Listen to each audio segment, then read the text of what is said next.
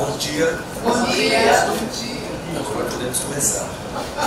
Eu sou Eric Tronski, professor da Universidade de São Paulo, de estudos avançados, e tive o privilégio de ser encarregado pela professora Ana Célia Castro, que é diretora do Colégio Brasileiro de Altos Estudos da Universidade Federal do Rio de Janeiro, e que é a alma organizadora deste importante encontro Brasil-China Innovation Dialogue 2024, Technology Development, por ocasião dos 50 anos do estabelecimento de relações diplomáticas entre Chile e Brasil, e também, eh, olhando para frente, eh, no grupo de engajamento de think tanks, T20, do G20, que esse ano será eh, liderado pelo Brasil.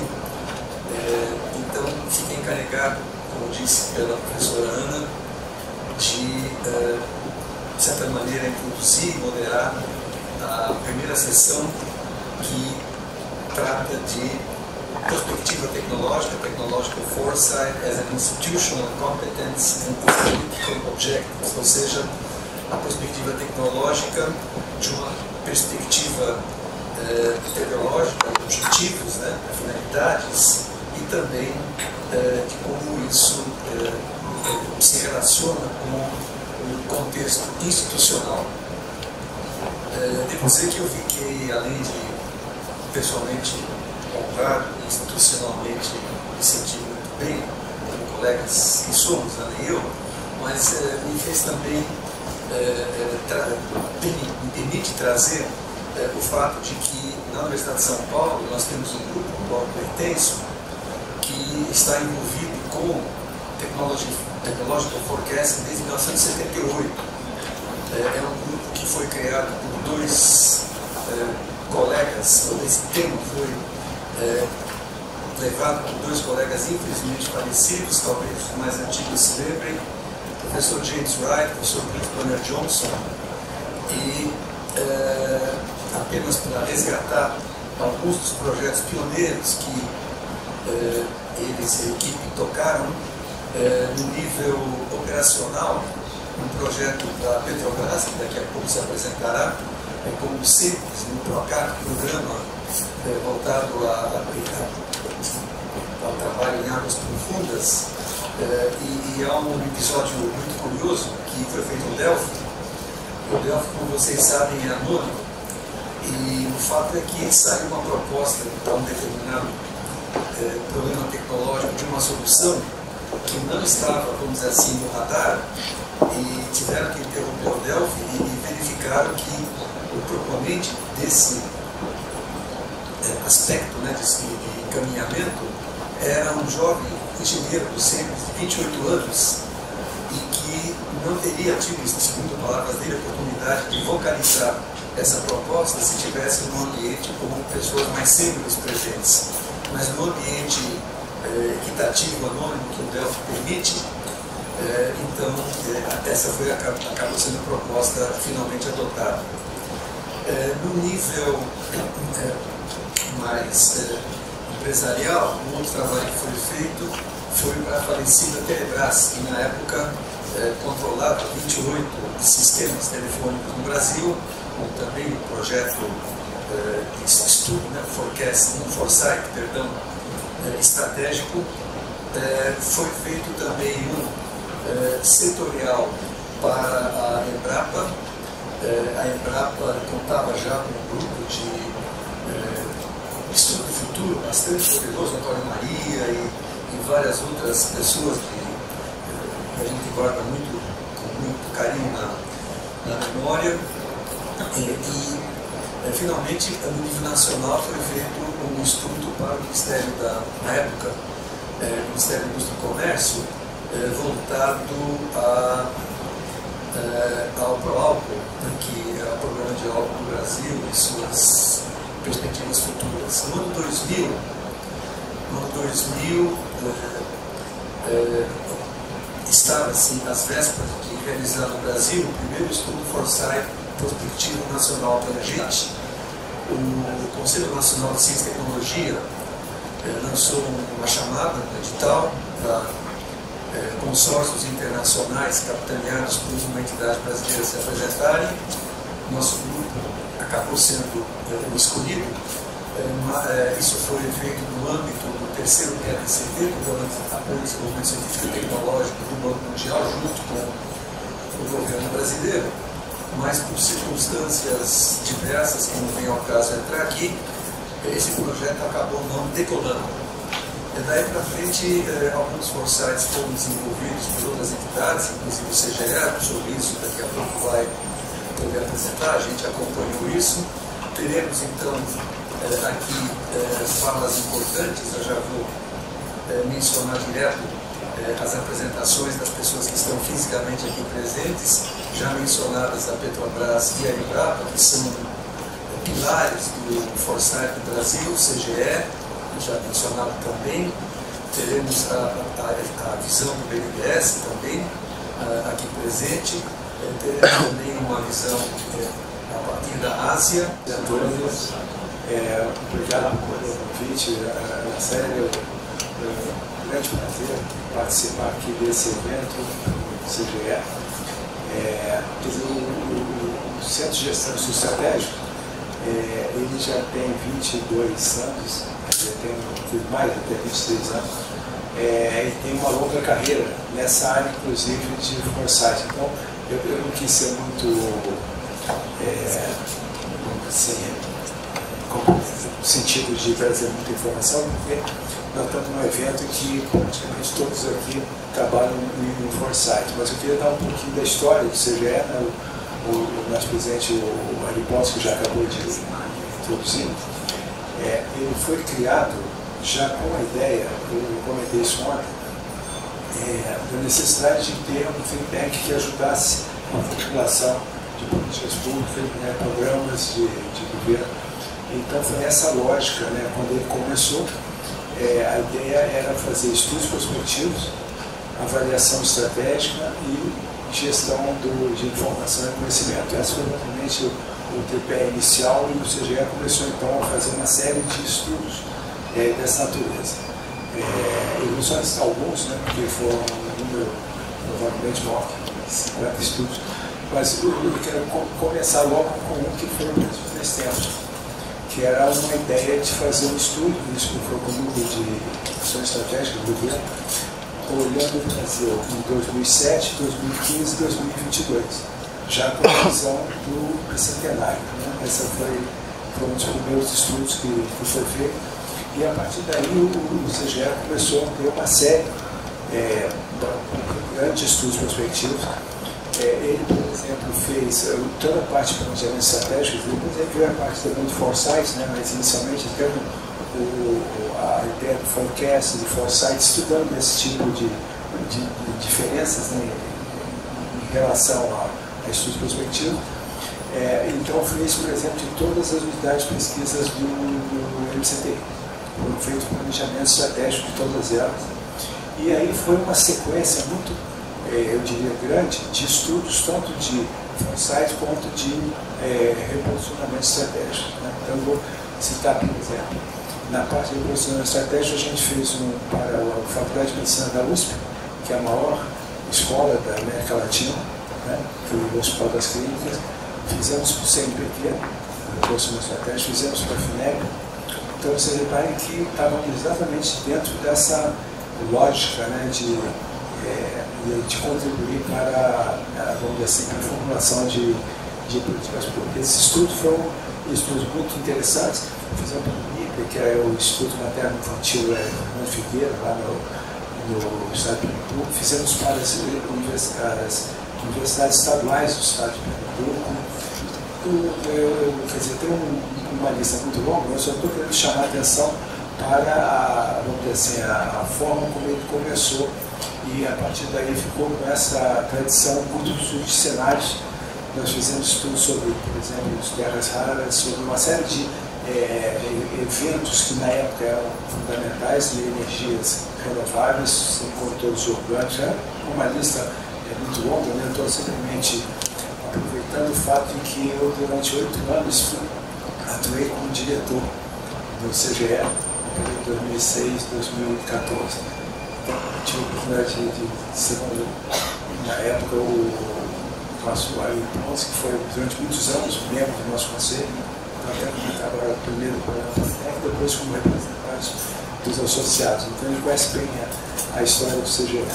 Mas para a reunião de hoje, o que eu achei que talvez fosse interessante era comentar algumas das coisas que nós temos feito ultimamente, a gente agora está retomando essa parte também, porque nós tivemos a, saída de alguns é, dos nossos é, principais é, atores na área de, de foresight, é, e agora estamos retomando com alguns outros. Nós agora, bem recentemente, tivemos a agregação de novos diretores, que eu acho que são é, interessante, foi o, professor Alisson Gomes, lá da Universidade Federal de Pernambuco, né, atualmente resultado, e o Caetano que por acaso até aqui hoje, né, e, e, agora nesse mês, ele, passado, ele, ele, ele retornou ao país, está na Holanda e, está trabalhando conosco. Né, a gente acredita que vai ter agora um período também de retomar toda essa parte também de, de estudo de futuro é, que tem sido feito a partir do momento em que nós começamos a observar que a, a função do CGE, de certa maneira, é mobilizar competência. É um grupo pequeno. Mas ele atuar usando todos, vamos dizer assim, a competência tanto do país como do exterior. Né? Em alguns desses estudos que eu comentei de funcionamento, a gente fez uso até de muitos especialistas estrangeiros, tanto para a parte de avaliação estratégica quanto de estudo de futuro. É, então, no caso, é, eu gostaria de comentar sobre uma tendência que a gente percebeu, que foi algo que era importante nós não ficarmos apenas estudando é, temas de forma casual, quer dizer, uma demanda, estuda-se aquele tema e esquece. Então a gente avançou uma forma de observatórios, em que nós, na realidade, criamos necessidades sobre alguns temas permitiram que a gente começasse a fazer uma, um acompanhamento, um conhecimento de competências né, e pudesse fazer uso delas na hora em que houvesse a demanda. É, então, nós hoje temos cinco observatórios, né, eu vou comentar aqui um deles, que é o Observatório de Ciência, Tecnologia e Inovação. Nós temos um observatório na área de tecnologias espaciais, na área de bioeconomia, agora estamos fazendo um na área de transformação digital, né? e um na área de cidades sustentáveis. Então são, são é, grupos que atuam e obviamente sempre com muita interação com a nossa comunidade né, científica, é, trazendo é, resultados para, no caso, para o Ministério e até para outros ministérios. A gente, embora esteja vinculado ao Ministério da Ciência, Tecnologia e Inovação, nós também temos no contrato de gestão do Ministério da Educação, aí fazemos muitos estudos na área de RH para a CTI. Um longo coleção de estudos sobre mestres, doutores, graduados. Então, tenho, é, eu convidaria vocês a visitarem né, nosso site, que é muito rico, né, mais de 500 estudos que foram feitos durante esses 20 e poucos anos.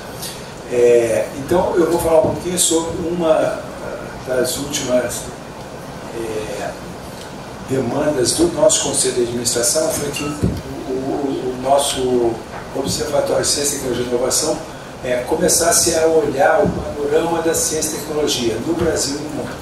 Então é sobre isso que eu vou comentar um pouco com vocês e aí dali saindo também a parte de indicadores. Né, que eu, vou, eu, eu, não vou me arriscar porque eu estou aqui no meio de economia, vocês provavelmente me estudariam né, se eu fosse entrar em muitos detalhes, mas de qualquer maneira é, eu conto com a boa vontade de vocês aí para isso. Então eu vou falar um pouquinho sobre uma, um, um tipo de, de resultado que esse Observatório de Ciência, Tecnologia e Inovação, que ele é coordenado pela Adriana Badaró, que tem um grupo de é, pesquisadores trabalhando com ela, o Marcelo Paiva, Denise Terra, nós temos grupos pequenos. Né? E eu, agora utilizamos muito, vamos dizer assim, é, consultores.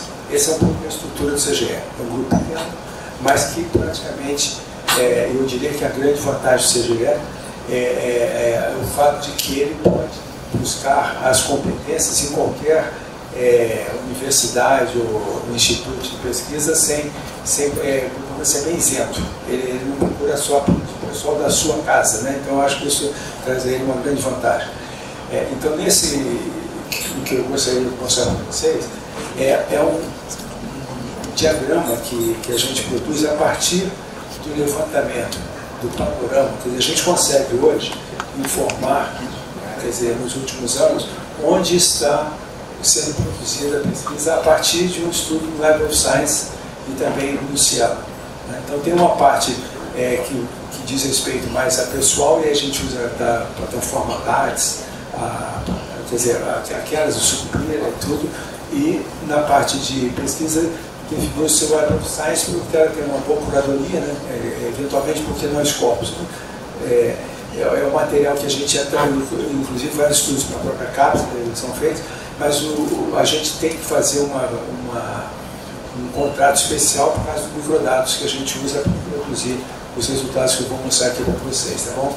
Esse, o, o, esses diagramas que eu acho muito interessante, que ele é a partir do, da quantidade de informação que se tem para cá, para diferentes é, temas, né? É, o professor consegue produzir redes usando similaridade semântica, né? É, de quais são temas que são de interesse para diferentes grupos de pesquisa. E isso é interessante porque a gente, por exemplo, identifica que às vezes numa mesma universidade você tem dois grupos que trabalham em assuntos absolutamente semelhantes e não se conhecem. Dizer, praticamente, então, é, a, a, partir dessa visão que a gente consegue colocar redes de é, atuação por palavras-chave, né? É, então, esse diagrama, eu vi o pessoal da Universidade de Granada, né, eu ter um artigo sobre, especificamente sobre, explicando esse diagrama, ele traz dois conceitos interessantes com relação às palavras-chave, que é o, o, conceito de densidade e de centralidade. Né? Densidade no sentido de que vários temas que estão muito próximos. Você nota que as várias palavras-chave têm uma relação entre eles. Então, isso dá uma ideia de densidade. E você tem um outro de centralidade, que são aqueles temas que eventualmente se interagem com muitos outros. Então, a partir desses dois conceitos, a gente pode então criar esse diagrama, que a de uma mediana você vai em quatro quadrantes. Então você tem na parte superior à direita, são aqueles temas que têm alta densidade e alta centralidade. Esses são temas motores, são temas realmente fortes. Né? Quando você vai para o lado esquerdo, são temas densos, mas com pouca centralidade. Então a gente está falando, por exemplo, de nichos. São grupos bem, assuntos assim, especializados. Quando você vai para o quadrante da direita embaixo, são temas de baixa centralidade, também baixa densidade, mas são temas transversais. Quer dizer, eles atuam em várias coisas, eles não têm essa pontuação. E finalmente, o quadrante que é mais interessante do ponto de vista que eu quero falar do Foresight, que é o da esquerda inferior. Porque aí você vai estar falando com temas de baixa densidade, aliás, os transversais têm alta centralidade. Né? Alta centralidade, justamente eles são transversais. Os que têm baixa centralidade e baixa densidade, é, eles normalmente estão indicando ou temas que estão declinantes, estão perdendo força, ou, ao contrário, temas emergentes. Então daqui começa a aparecer aquela ideia de sinais fracos e tudo que você pode eventualmente acompanhar no linha do tempo, se ele vinha acontecendo e foi sumindo ou até apareceu recentemente. Então realmente é o, é o, é o, é o, é o ponto que eu diria que é interessante a gente, a gente Vamos ver o próximo? Então o que, que eu resolvi fazer? Eu peguei a cooperação Brasil-China no período 2019-22, que eu acho que é uma contribuição que eu podia trazer aqui para esse evento. Então nós aqui temos um jogo aí das palavras né, né, sobre a cooperação no período 2019-2022 entre Brasil e China. Então aí você tem as cooperações que inclusive envolvem outros países. Mas reparem bem, Brasil e China, né, o maior número lá, da ordem de mil e. Né, da ordem de mil, quase mil quase 2 mil né, artigos Brasil e Chile, e depois vem o, o, outro país com maior número de contribuições com o Brasil e China, né, Estados Unidos, né, e por aí vai. Depois Inglaterra, Alemanha, né, e aí exatamente aqueles países europeus, como foi comentado ontem, né, que é a, é a base praticamente da nossa, do desenvolvimento da nossa ciência e tecnologia. Mas somente lá Covid, meta-análise, machine learning, filogeny, taxonomia, etc. Que é o próximo? Ah, é. Então, repare bem, esse é o diagrama para a cooperação Brasil-China. Eu acho muito interessante, a gente, reparem bem.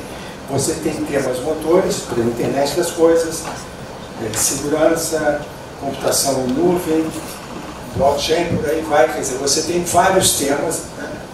É, a Covid-19 um pouco menos afastado do centro, né? é, incertezas, nos temas de nicho você vai encontrar também meta-análise, quer dizer, em cada quadrante você vai encontrar é, algum, por exemplo, temas é, transversais, a pandemia, é, coronavírus, é, na, emergentes também um grupo muito grande, né? o emergente, ali, reparem bem, o emergente um grupo declinante, tá certo? É, então vamos para o próximo. É, então, em, em, cada nicho, por exemplo, você pode, cada, cada quadrante, você pode parar e, e, e analisar quais são, tá certo? Aqueles, aquelas palavras-chave que fazem sentido para a cooperação Brasil-China, pelo menos nesse, nesse período. Então, por exemplo, córnea, biomecânica, é, pressão intraocular, uma coisa bem relacionada com oftalmologia. Né? O próximo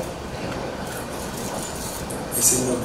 É, temas transversais, né, Covid-19, SARS-CoV-2, monitoramento remoto, pandemia, coronavírus, saúde pública. Próximo, temas emergentes, tá certo? O que eu falei, meta-análise, é, previsão, é, reabilitação, BRICS, recuperação, aí tem um número grande que na realidade não, não, necessidade de todos, mas vocês podem ver que realmente começam a aparecer né, temas que eventualmente podem ser de interesse para a cooperação. Né. Vamos para o próximo. É, então aqui a gente faz uma timeline em que os pontos, se você for analisando, está ali embaixo, 2019, 20, 21 e 22. E os pontos indicam exatamente aqueles temas que estão aparecendo em cada um daqueles períodos. Então, fazendo uma análise, é claro que tem muita informação aí nesse quadro, mas é só para assim, você quiser seguir algum daqueles temas, você acompanha timeline, tá certo? Se ele continua efetivo, eventualmente se apareceu ou não, né? Então ele, se torna uma ferramenta interessante. Eu quero só chamar a atenção que essa informação toda você já deixa é, livre. Né? As pessoas podem, inclusive, aprender a trabalhar com esses diagramas e produzir os, os, os seus diagramas. Né? É, vamos para o próximo, então? Aí eu resolvi fazer o seguinte, quais são as oportunidades de parceria? Eu falei assim, seria interessante pegar um tema e ver o seguinte, nesse tema, quais seriam as possíveis interações entre Brasil e China? Então, por exemplo, é, internet das coisas. Então está aí, a produção da rede científica pegou os 500 artigos mais recentes produzidos pela China e os 500 artigos mais recentes produzidos pelo Brasil nessa temática, a partir do Web of Science. Então vocês veem ali, tá certo? O, o primeiro é 20 palavras, mostrando, tá certo? Nesse tema maior de internet das coisas, quais são os temas mais, vamos dizer assim, usados. E ali do lado, você tem os tais temas por cores, e eventualmente você indo lá, você vê qual é o artigo, quem é o autor, tá certo? Você pode chegar até, no caso, a universidade ou então ao próprio autor. Né? Isso aí, no caso, quando a gente vai para a parte de pessoal, você vai do látis da pessoa. Você consegue, inclusive, identificar a pessoa e saber exatamente até que ponto aquela interação é, é agradável. Então, aí, por exemplo, uma rede com mil produções científicas, produzidas, no caso, 22 e 23. Tá certo? Então, você pode pegar uma fotografia ou então simplesmente pegar o filme. Né? Então, no próximo, o que a gente pegou essa parte de detecção de oportunidades do paciente interinstitucional, então, por exemplo, nós pegamos como tema a proteção de privacidade e compreensão ética política. Né? E aí foram ver, por exemplo, ali os pontos verdes são produções brasileiras e os vermelhos produções chinesas. E você vai identificar, então, eventualmente, pega aquele círculo, aquele conjunto ali de algum determinado assunto e onde estariam, por exemplo, os grupos de interesse de um país ou do outro. Você pode fazer esse tipo de, de Então, a título só de, de curiosidade, vamos em frente. Quais seriam, no caso, então, a gente teria já a condição de sugerir instituições parceiras? Então vamos para o próximo. Então está ali, ó. Para esse tema, né, que, ele colocou ali, aqui, né, você teria do lado esquerdo uma lista de universidades chinesas e do lado direito, até no caso eles aproveitaram também outras que não são só brasileiras. Né? Pegaram lá o pessoal da de Coimbra, da Deakin, mas vocês têm uma lista também de universidades brasileiras onde eventualmente pode se procurar um match do tipo né, de interesse. Então, por exemplo, como exemplo possível, de novo aqui, estou arriscando aqui, essas coisas que vocês sabem de similares e tudo, elas, elas nem, não são certezas, elas simplesmente são indícios e elas ajudam. Né? Mas, por exemplo, nesse tema de IoT que a gente falou em manutenção de privacidade e ética, a Nanjing University Federal do ABC pode ser que tenha algum match, tá certo? A Chengdu, Chengdu, Chengdu University Federal de Fora e Xangai, uma Federal de Pernambuco, tá certo? Então, como eu falei, a, a, ideia aqui era simplesmente mostrar que eu acho que são é, ferramentas que podem ajudar na cooperação, né, já que o, o, o objetivo dessa reunião é justamente estreitar as reuniões com a China, como foi comentado ontem pelo ministro Fernandes, é, é muito oportuno, né, eu acho que eu, eu tive oportunidade, mas na minha área, né, eu sou da área de direito materiais, e na década de 95 e 98, eu tive uma forte interação com o pessoal de. Tive até dois pós-docs que passaram dois anos comigo na época. É, então, estava justamente achando que estavam mudando, é impressionante. Eu tive lá em 96, quando eu voltei em 2008, outro evento, era outro, inclusive bem, era, era o ano da Olimpíada. Eu estava, é, realmente não era dos carros, dos novos. A época que eu fui a primeira vez, eu, eu tentei andar de ônibus, de. Primeiro que eu parecia um extraterrestre, eu chegava no metrô, todos olhando para mim perceber que ficava parado, as pessoas aqui do meu lado me olhando assim. É, eu, eu, eu, tem um caso interessante, eu fui visitar daqueles é, é, palácios que tem em frente lá à cidade imperial, aí eu estava lá de cima tirando foto, tudo interessante, aí quando eu me virei tinha um grupo de chineses esperando. Aí eu, desci, comecei a sair, aí você pode tirar foto? Aí eu pensei que eu ia tirar deles, não Aí ele veio um de cada vez para o meu lado e alguém tirava uma foto. E eu, pior é que eu esqueci de tirar foto do grupo. Então eu só tenho um caso, mas não tenho uma. Né? Mas foi realmente uma experiência muito interessante.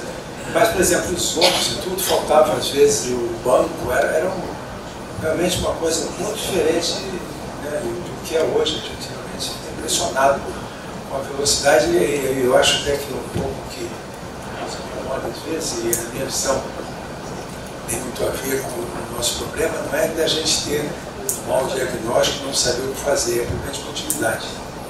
Eu acho que o grande problema da ciência, quando eu vejo até os estudos que a gente fez no passado, como as dimensões, ontem eu comentei negócio do, livro azul, quer dizer, mas, o diagnóstico estava feito, as sugestões tinham sido dadas, mas simplesmente para. Né? E eu acho que isso é a diferença que eu, talvez estudado, é o seguinte, decidiu-se uma coisa, vai em frente mesmo que é, você vai, você chega ao final. Bom, é, presidente, não sei se eu passei do tempo, mas a ideia, como eu falei, era só trazer uma oportunidade. De novo, agradeço a série aí pelo convite, é muito, um grande prazer participar aqui, tá bom? Muito obrigado. Eu agradeço a, a apresentação do Fernando Riso, é, pelo CGE, primeiro pelo CGE em si, que de fato é um oásis é, de interlocução e diálogo entre eh, os agentes do Sistema Nacional de Ciência, Tecnologia e Inovação. Segundo, eu realço a oferta que o, que o professor Rijo fez de que a ferramentaria, por assim dizer, do CGE é uma ferramentaria open, né, aberta, ou seja, é que todos nós podemos utilizar e isso é absolutamente importante. Muito obrigada, professora Ari pelo convite, também a professora Marcela Castro, pelo convite, está piscando ali, mas está funcionando, né? É uma pena né, que o professor Iwan Lai de novo, por isso. E é, o que eu trouxe aqui para apresentar, na verdade, é um pouco uma reflexão sobre diversas é, experiências de cenários que o BNDES teve e uma reflexão assim a, a, de longo prazo né, sobre muitas dessas experiências, algumas delas, muitas delas eu participei é, e algumas delas eu é, estudei, temos aqui pessoas que participaram da experiência, como a doutora Dulce, que está aqui presente. E a, a, ideia aqui, então, é a gente passar um pouco esse overview. É um pouco diferente a situação do BNDES, porque é, o BNDES, ele é, assim como a Petrobras, que tem interações é, o BNDES é um instrumento, né? ele é um banco de desenvolvimento, então é um pouco diferente de uma situação onde você é um grupo de conselheiros tecnológicos, né? Então a gente usa muito o planejamento, é, a gente usa muito os cenários para experiências de planejamento estratégico. Então, começando aqui, é, por favor, pode mudar o seu minuto. Bom, então eu poderia dividir as experiências do BNDES em três grandes grupos. O primeiro grupo que são as experiências dos anos 80, o segundo grupo que são as experiências dos anos 2000 e depois de 2018, o que eu chamei de cenários não oficiais. Quase que um trabalho subversivo, onde as pessoas do banco começam a pedir análises de cenário, mas que a gente não tem assim, um trabalho mais estruturado é, de cenários, ou se vocês quiserem, cenários desestruturados, que atendem a, algumas demandas. Bom, é, a experiência dos anos 80 ela tem que ser compreendida à luz do que vivia a economia brasileira. Né? Então, era um país que vinha crescendo a 7% ao ano, e que de repente entra numa grande crise da dívida, o crescimento cai a menos 0,3 no período, e a inflação, que é, era relativamente estável, ela se torna rapidamente excedente. Então, nesse cenário, é um questionamento do modelo de desenvolvimento brasileiro. E o BNDES, diante dessa crise, ele diz: bom, é preciso refletir, isso aqui é um turning point e a gente precisa repensar o papel do banco, mas mais importante do que isso, não tem crescimento nesse momento, não tem recurso para o BNDES, então não vamos mais planejar o Brasil, vamos planejar o BNDES. Vamos se reestruturar para ver como que a gente pode relembrar, é, como que a gente pode se estruturar. Bom, é, então pode, pode passar, é, por favor, o, BNDES é uma das instituições pioneiras, né, junto com a Petrobras e a Eletrobras, acho que a Petrobras e a Eletrobras fizeram antes, né, o BNDES, mas vem logo na sequência ainda nesse contexto, depois também nós vamos ter a Embrapa, que também traz muitos cenários um pouco mais à frente. É, faço.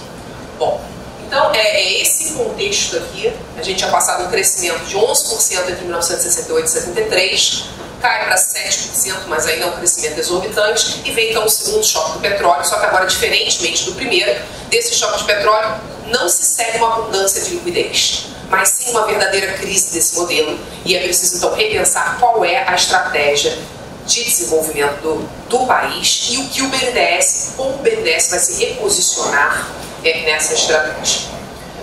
Bom, é, então diante dessa situação, olhar para o retrovisor é um péssimo. Olhar para o passado nada mais tem a ver. Você está diante de grandes mudanças estruturais, você está numa estrada, você precisa olhar para frente. Então, a, é, a inspiração para esse trabalho de cenários inicial do BNDES foi uma posição influenciada pela escola francesa de cenários, né, do Gaston Berger e do Michel Godet, da ideia da prospectiva. É preciso prospectar futuros. Esses futuros não estão dados, eles precisam ser criados e criados com imaginação. E se usam então consultores externos. O professor, Francis, é, o professor Antônio Barros de Castro é chamado para fazer esses cenários, junto com o professor Francisco Eduardo Pires de Souza, e começa a trabalhar com pessoas do banco é, nesses, nesses cenários. A ideia aqui é da prospecção mesmo, que é um jogo de palavras, de criar esses futuros. Bom, é, aqui a gente tem duas experiências nos anos 80. Uma primeira experiência é a experiência de 1984, onde a gente está, então, diante do meio dessa crise, está também toda a discussão aqui de redemocratização né, da economia, que acaba falhando, né, a campanha de direta já, e a ideia é ter um cenário, então, normativo. Eles começam com quatro cenários, depura, viram dois cenários, um cenário é o ajustamento e o outro é a retomada. Esses cenários, eles são marcados pela ousadia O que, que o Castro e o Francisco Eduardo vão impulsionar o banco a pensar? O Brasil está pronto para crescer. Ele pode crescer do ponto de vista da sua estrutura real, dos seus empresários. Ele está pronto para crescer. E eles não estavam errados. Porque de fato aconteceu é, a previsão de crescimento foi de 7%, era para 84, 87. O crescimento efetivo desse período foi 6,1%. Porque a gente teve ali o boom do plano cruzado. Então, apesar dos anos 80 ser uma década perdida, a gente tem esses três anos onde você tem um crescimento muito elevado. Né? Pouco, claro, impulsionado pelo plano cruzado. Então, a ideia é que é, eles dizem, olha, o Brasil é, não deve ficar nessa mediocridade, não deve aceitar esse ajustamento e sim deve investir no nosso cenário estratégico, no nosso cenário normativo, é o cenário da retomada. Bom, só que depois a economia começa. Então, estavam certos a respeito do crescimento, mas completamente errados do ponto de vista da inflação. A inflação se provou muito mais alta e muito mais desafiadora do que qualquer um deles tinha pensado ou discutido. Né? E aí, diante disso, é, o que, que, começa a acontecer no Brasil? Infelizmente, o Brasil vira, como eu conto para os meus alunos, né, a gente passa a ter plano de estabilização, passa a ser igual carnaval, né, tem todo ano. E você não consegue vencer a inflação. E diante daquele cenário, então, eles se reúnem de novo com os mesmos consultores, adultos participou desse processo, e a gente faz o cenário do fechamento ou da integração competitiva. E, novamente, normativo, o que importa é a integração competitiva. Esses cenários são os cenários da a maior experiência de cenários do BNDES, a mais conhecida, a que conseguiu influenciar né, diversos, é, diversos atores, diversas pessoas do governo. Ele se tornou uma, um hallmark, né, uma, uma característica do banco. E aqui é interessante porque o que, que ele dizia essencialmente? O modelo de substituição de importação acabou não é mais possível continuar crescendo dentro desse modelo de desenvolvimento. É preciso usar, então, a ideia de que você vai integrar o mercado interno com exportações. Existe um novo paradigma tecnológico, a microeletrônica, ele precisa ser repensado. O Estado não tem mais condição de fazer os seus investimentos, porque ele está falido, as empresas estatais são sem recursos. A gente precisa chamar esses empresários e fazer essa nova integração competitiva. Curiosamente, esse cenário ele falava um pouco também de privatização, de modernização do Estado, mas esse não era o mote. Era uma visão mais desenvolvimentista, mais estruturalista. Mas acabou ganhando um contexto de realmente o Brasil precisa mudar o seu modelo de crescimento, precisa passar pelo consenso de Washington, modernizar o Estado, e o BNDES acaba então virando também um banco da privatização nos anos 90. Mas na realidade não era a concepção desse time de cenários, mas acabou se tornando isso com o passar do tempo. Bom, então essa foi a experiência. Ficamos 20 anos sem fazer cenários. Né? Mas é, o que os resultados é, dessa, é, dessas duas experiências, em primeiro lugar foi curioso, né? porque o BNDES começou dizendo assim, não vamos pensar no país, vamos pensar no banco. Só que ele acabou pensando o país e um pouco mudando a forma de se pensar no país. Então, o que acontece com, sempre com grandes instituições que conseguem se articular, né, quando elas conseguem se articular com o governo. Mas, é, do ponto de vista concreto, o que o 84 87 deixou foi muito pouco, mas alguma raiz. Foi a criação do Fintech. A ideia de que a gente precisava retomar o crescimento e precisava ser um crescimento baseado em tecnologia e inovação. Isso deu o surgimento do Fintech. Então, isso é uma sementinha que os cenários acho que conseguiu plantar. Porém, desse tamanho, né, gente? O FUTEC vai nascer muito pequeno, porque era no contexto dos anos 80. E o segundo, ele conseguiu influenciar o debate, participar dos seminários e um pouco mudar né, a forma de se pensar que o Brasil realmente precisava se integrar internacionalmente. Tá? Bom, é, o que, que acontece então 20 anos depois, nos anos 2000? O Brasil está num novo turning point porque agora está se tentando, depois de finalmente se venceu a inflação, finalmente se começou a retomar, e aí pensa assim, bom, agora o Brasil precisa crescer. Só que é um modelo de crescimento que virá com as transferências de renda, com o crescimento puxado por consumo de massas e também investimentos, investimentos puxados pelos investimentos públicos. Né? Então, de novo, é uma nova mudança de modelo de crescimento, onde você tem aqui a questão do desenvolvimento social, do consumo de massa e das transferências né, iniciadas a partir dos anos 2000. E, uh, e esse cenário não, tem que ser participativo. que nem foram nos anos 80. Nos anos 80 fomos, só que o banco era muito pequenininho, né? Então participativo era mais fácil do que era nos anos 2000. Então vamos fazer essas discussões.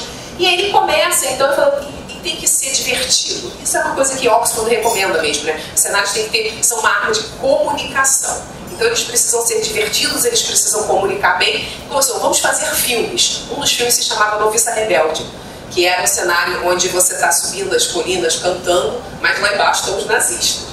Então era um cenário que tinha é, toda uma, uma concepção que se chamava é, noviça rebelde. E a gente usou também o método dedutivo, como o professor Fernando utilizou, né? Só que era mundo Brasil, então o mundo bom, mundo ruim, Brasil bom, Brasil ruim. E esse cenário, ele ficou mais qualitativo, foi extremamente participativo, e depois daqui desce. E aí que é o importante, né? O que fazer com os cenários? Então depois disso você começava a colocar no funil e passar, bom, daqui a gente vai rediscutir a missão e a visão e tentar chegar nas metas. Conseguiu? Não muito. Muito difícil você transformar os cenários em efetivas metas e objetivos e chegar lá embaixo. Mas o exercício de reflexão ele é relevante, eu vou tentar defender isso aqui. Bom, é, em 2012, 2015, aqui o professor Francisco Eduardo foi de novo chamado né, para participar dessa discussão, junto com o professor é, o professor Francisco da Universidade da Bahia. E nos anos é, de 2012 e 2015, os cenários ficaram bem interessantes. Falou, bom, então vamos, é, vamos agora fazer músicas. Então, o cenário onde o mundo está bom e o Brasil está bem se chama Sonho Meu. Né? São, são sambas populares. Se fosse, o, se fosse no, uma música americana, acho que seria Imagine, né? porque seria uma, uma fonte de inspiração, só para dar uma referência. O cenário onde é, o mundo realmente está. Porque o eixo dos cenários é: no mundo é a questão geopolítica. Se será possível ter uma multipolaridade, se acabaremos tendo uma multipolaridade conflituosa ou uma liderança compartilhada entre China e Estados Unidos. Esse é o eixo central. O que move o mundo é esta tensão geopolítica. Existe uma incerteza muito grande, essa é a força motriz. Pode dar um cenário ou outro cenário. E no eixo, então, é, do Brasil, a questão é a capacidade do governo elaborar um projeto de desenvolvimento e implantá-lo.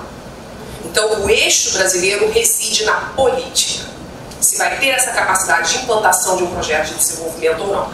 E o cenário onde é o pior cenário é o mundo é um moinho. Né? Seus é, sonhos vão acabar, abismo que cavaste com seus pés. Né? Quando olhares está diante de um abismo, abismo que cavaste com seus pés. Se fosse uma música é, inglesa, certamente seria The End, né, The Doors, em que os sonhos acabam e tudo.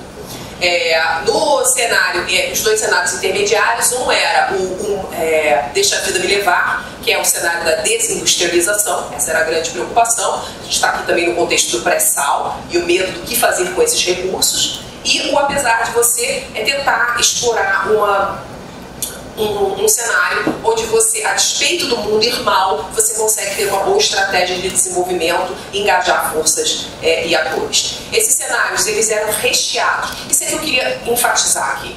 O fato de você começar a fazer cenários, ele é um exercício que vai ganhando força. Como é que você. Então você começa num grupo pequeno fazendo essas grandes discussões, mas aí você envolve os tipos técnicos. E aqui um pouco começa o foresight tecnológico também. A gente chamava os nossos grupos setoriais e perguntava quais as tecnologias dominantes. Então, ao mesmo tempo que você usava o método dedutivo, você recheava as histórias setoriais e tecnológicas com conhecimento específico do banco, de pessoas que estão ali na frente dando seus financiamentos, né, fazendo, num certo sentido, um foresight, né, pesquisando, mas não é um grupo, digamos, acadêmico de estudiosos. É um grupo que está vendo esses projetos chegarem e que está tendo que um pouco decidir sobre que projetos se aposta ou não se aposta e vai depender se vai ter as garantias, se vai ter todas as condições financeiras, não são só as questões tecnológicas as determinantes. Né? Então recheava com isso e usava também um, é, um regime, é, um modelo de consistência macroeconômico, é, que tem diversos blocos que não vale a pena aqui explorar, mas que tem 200 variáveis, só para fazer uma história redonda e consistente. Só que longo prazo é muito prazo. 15 anos, mesmo num banco de desenvolvimento, é too much. A gente precisava de outros instrumentos para fazer uma discussão, uma conversa estratégica. Então, para além dos cenários de 15 anos, a gente passou a ter cenários de 3 anos e tentar discutir para onde o Brasil estava indo, se estava indo mais para uma rota sonho meu, mais para uma rota deixa a vida me levar, se a gente estava conseguindo ir, então a gente fazia essa discussão é, de 3 anos. E aqui há uma outra questão interessante. Um banco como nós, BNDES, que somos regulados, a gente tem a obrigação de fazer certos cenários. E era difícil conciliar esses diversos exercícios. Porque a gente precisa ter a turma do forecast, que faz os, os dados macroeconômicos que precisam usar para o banco todo para avaliação de projetos. A gente precisa fazer análise financeira. Então, isso aqui é forecast. Não tem cenário aqui. É uma, é uma trajetória só onde se aposta. Mas aí tem que fazer a discussão dos cenários do ICAP. não sei se os senhores são familiarizados. O ICAP é, um, é uma exigência do Banco Central em que você faça cenários para o setor bancário, em que você veja quanto capital você vai ter. Só que a lógica do ICAP é dar ruim. Qual é o máximo de capital que você pode precisar? Então, é o oposto da lógica dos cenários, né? O que, que a gente precisa fazer para a estratégia dar certo? É, um é a estratégia dando certo, o outro é o pior que pode acontecer. Então, são raciocínios diferentes. E o que, pode acontecer de pior? Em termos de capital. Não é em termos estratégicos. Então, é uma lógica completamente diferente. Então, eu tive que várias vezes responder ao TCU como é que eu conciliava os cenários. Porque eram vários exercícios de cenário. E ainda tinha o exercício do PPA em que vem uma outra lógica e diz, mas qual é o plano de vocês para atender o PPA? E ficava, então, olha os diversos instrumentos que você tinha que ficar rodando e tentando conciliar como uma instituição pública. Os cenários de longo prazo, visionários, que tentam ver uma estratégia para a empresa, os cenários forecast para o dia a dia da empresa, os cenários que são ICAP para atender o seu regulador e os cenários do plano plurianual, que você tem que conciliar com os determinantes do governo. Então, é um difícil exercício fazer esses cenários. Né? Bom, isso aqui é o último cenário que a gente fez, isso foi apresentado em dezembro de 2015, em que a gente dizia, olha, a globalização está aí, mas ela tem forças contrastantes. Então, não foi uma grande surpresa quando Trump ganhou, que foi uma surpresa para muita gente. O BNDES estava, por conta desse exercício permanente de cenários, esperando que haveria uma possibilidade dessas forças é, políticas surgirem. E a grande pergunta era o que, que a gente vai fazer com isso? Como o BNDES vai se posicionar? O que, que esta mudança na geopolítica nos Estados Unidos vai impactar o Brasil e, portanto, o BNDES? E a conclusão era, a China virá com muito mais força para o Brasil. E há muitas oportunidades estratégicas de negócios. E a gente começou então a passar por todas as áreas e perguntar quais são as grandes oportunidades que nós temos com a China em fármacos. Quais as oportunidades que a gente tem na parte de energia, eles já, os chineses já estão aqui. O que, que muda agora? Em rodovias, em portos, talvez a gente possa trazer. Então a gente fez essa puxada, mas infelizmente esse exercício foi descontinuado. Em termos tecnológicos, eu diria que o trabalho é fraco.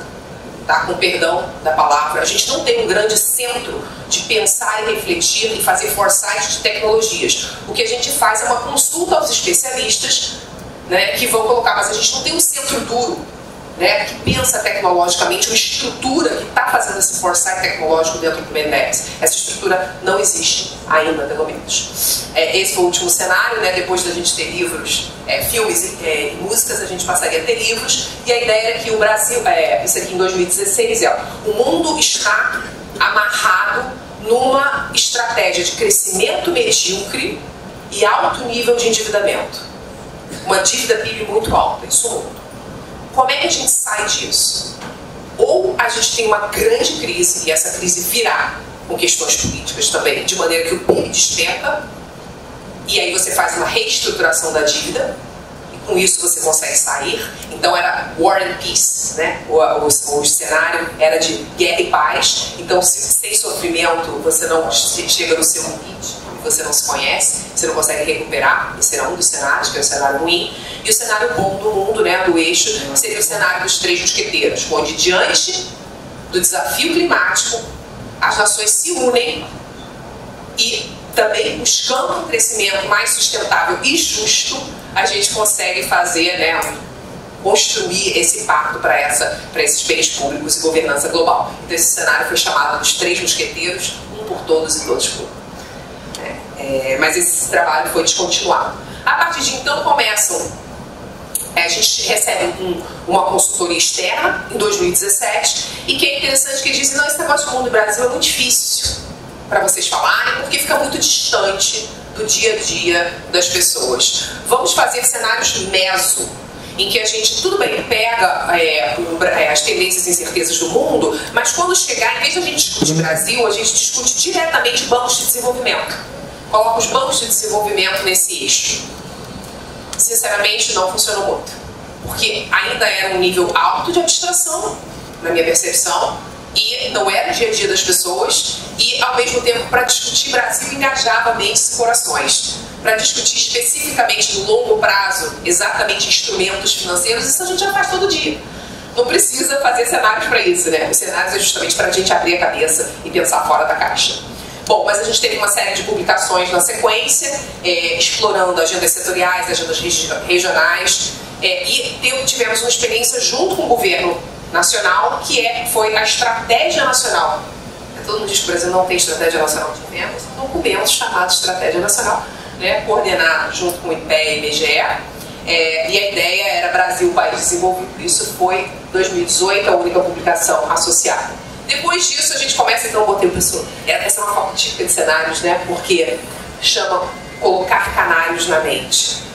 É, aqueles não familiarizados, é, quando você está numa mina de carvão, as pessoas colocam canários perto da mina porque eles sentem primeiro o cheiro do gás. E eles começam a morrer. Então você vê os canários morrendo, você sabe que é a hora de sair correndo da sua mina. Né? Então a ideia um pouco é de fazer esses canários na mente. E o grupo de cenários começou a ser chamado de forma um pouco subversiva e não autorizada, mas assim, somos todos de uma mesma casa para reflexão. Então, por exemplo, é, a gente teve um cenário de é, discussão de funding quando o FAT foi ameaçado. Então, os grupos, as pessoas se reuniram para discutir seriamente quais eram as alternativas, o que estava acontecendo, quais eram os cenários possíveis, o que, que a gente tinha que fazer. Ou para a gente discutir, por exemplo, incertezas políticas e institucionais, que estavam muito fortes, com uma entropia muito grande, né, que a gente precisava se reunir para discutir, e também alguns cenários, de, e a gente levava isso para a administração, quer dizer, junto com a área de planejamento, moldava, a partir de demandas específicas, grupos voluntários.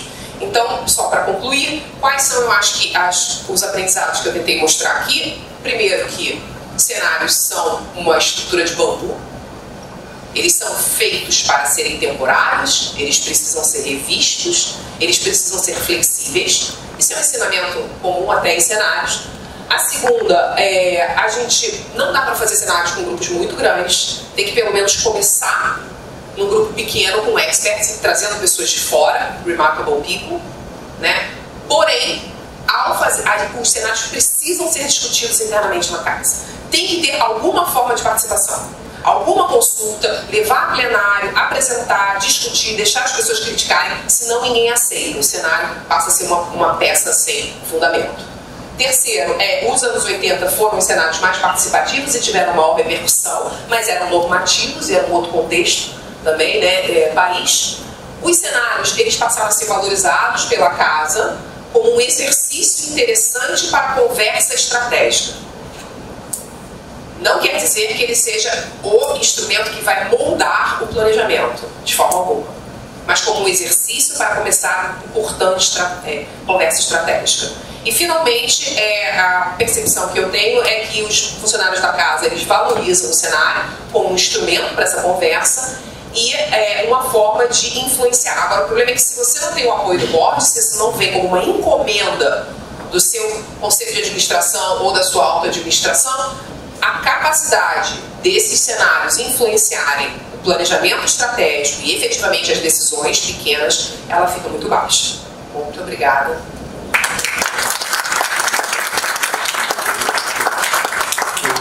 Eu, agradeço, doutora Lavínia, a fascinante apresentação é, que, que nos traz é, aquilo que, enfim, de um jeito um pouco brincalhão, né? Se fala, é, você descreve as pingas que tomou e os tomos que levou, né? É, ou seja, eh, os avanços e as eh, dificuldades. Outro, outro ponto que eu chamaria atenção, que você nos traz, é aquela famosa ideia né, de que eu sou eu e minha circunstância, ou seja, tem que ver o contexto, mas é, é, frequentemente se omite a segunda parte da frase do Ortega Gasset, que é igualmente importante, e se eu não salvo a ela, a circunstância, não me salvo também. E, portanto, o papel do banco, do que eu entendi em vários momentos, foi procurar salvar a circunstância para poder o próprio banco prosperar. Então, muito obrigado. É, passamos agora à terceira apresentação, doutora Petula Nascimento, da Embrapa, que, é, como mencionei, é um dos pilares né, do do Brasil.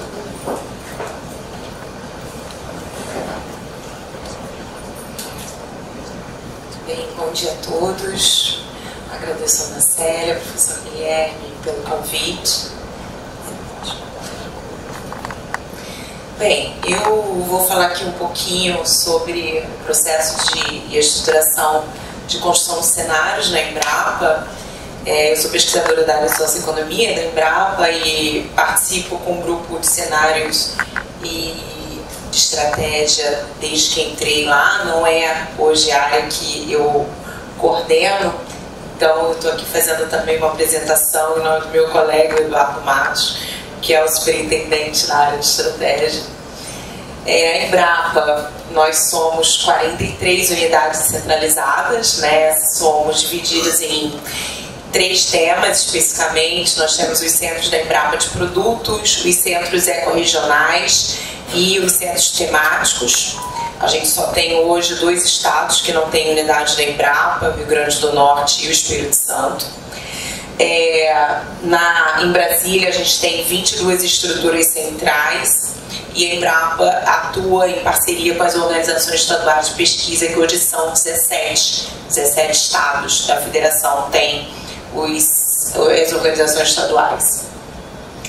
Então, hoje a Superintendência de Estratégia ela é ligada à presidência da Embrapa e a gente atua em quatro principais eixos, que é a inteligência estratégica, o planejamento estratégico, o monitoramento e avaliação e as ações de apoio à diretoria. É, ela é responsável por esse macro processo, né, macro processo de inteligência e governança da empresa na área estratégica e coordena o sistema de inteligência estratégica da Embrapa, que é o AgroPace é, ela é responsável pela elaboração do plano plurianual, do plano diretor e do plano de negócios e o plano social e o balanço social. A Embrapa, na verdade, ela realiza planejamento estratégico desde a década de 90. É, a gente fala um pouco do macro processo de inteligência e que ele é dividido em três grandes eixos, né? A captação de sinais e tendências, informações, que se dá por meio do projeto de inteligência estratégica com a captação de sinais, né, sinais e tendências, em parceria com as empresas, institutos de ICT, rede de pesquisa, o CGE é um grande parceiro da Embrapa né, nessa parte de sinais e tendências, com o mercado, com empresas, com as ICTs, né, com o Congresso, então a gente tem ações também próximo ao Legislativo, próximo ao Poder Executivo, e as visões do agro, né? Isso envolve toda uma rede de colaboradores, de stakeholders, onde a gente fica fazendo essa captação de sinais e tendências. Tudo isso ela canaliza para as estratégias né, que vão orientar em todo o planejamento da empresa, em elaboração e revisão do plano diretor da empresa, do, do plano de negócios, do PPA, do processo orçamentário que acontece anualmente. E essas informações, é, na verdade, ela traduz né, em ações de uh, definição de estratégias competitivas é, com com forte rebate no fortalecimento na indução e revisão de políticas públicas nesse relacionamento com o Poder Executivo.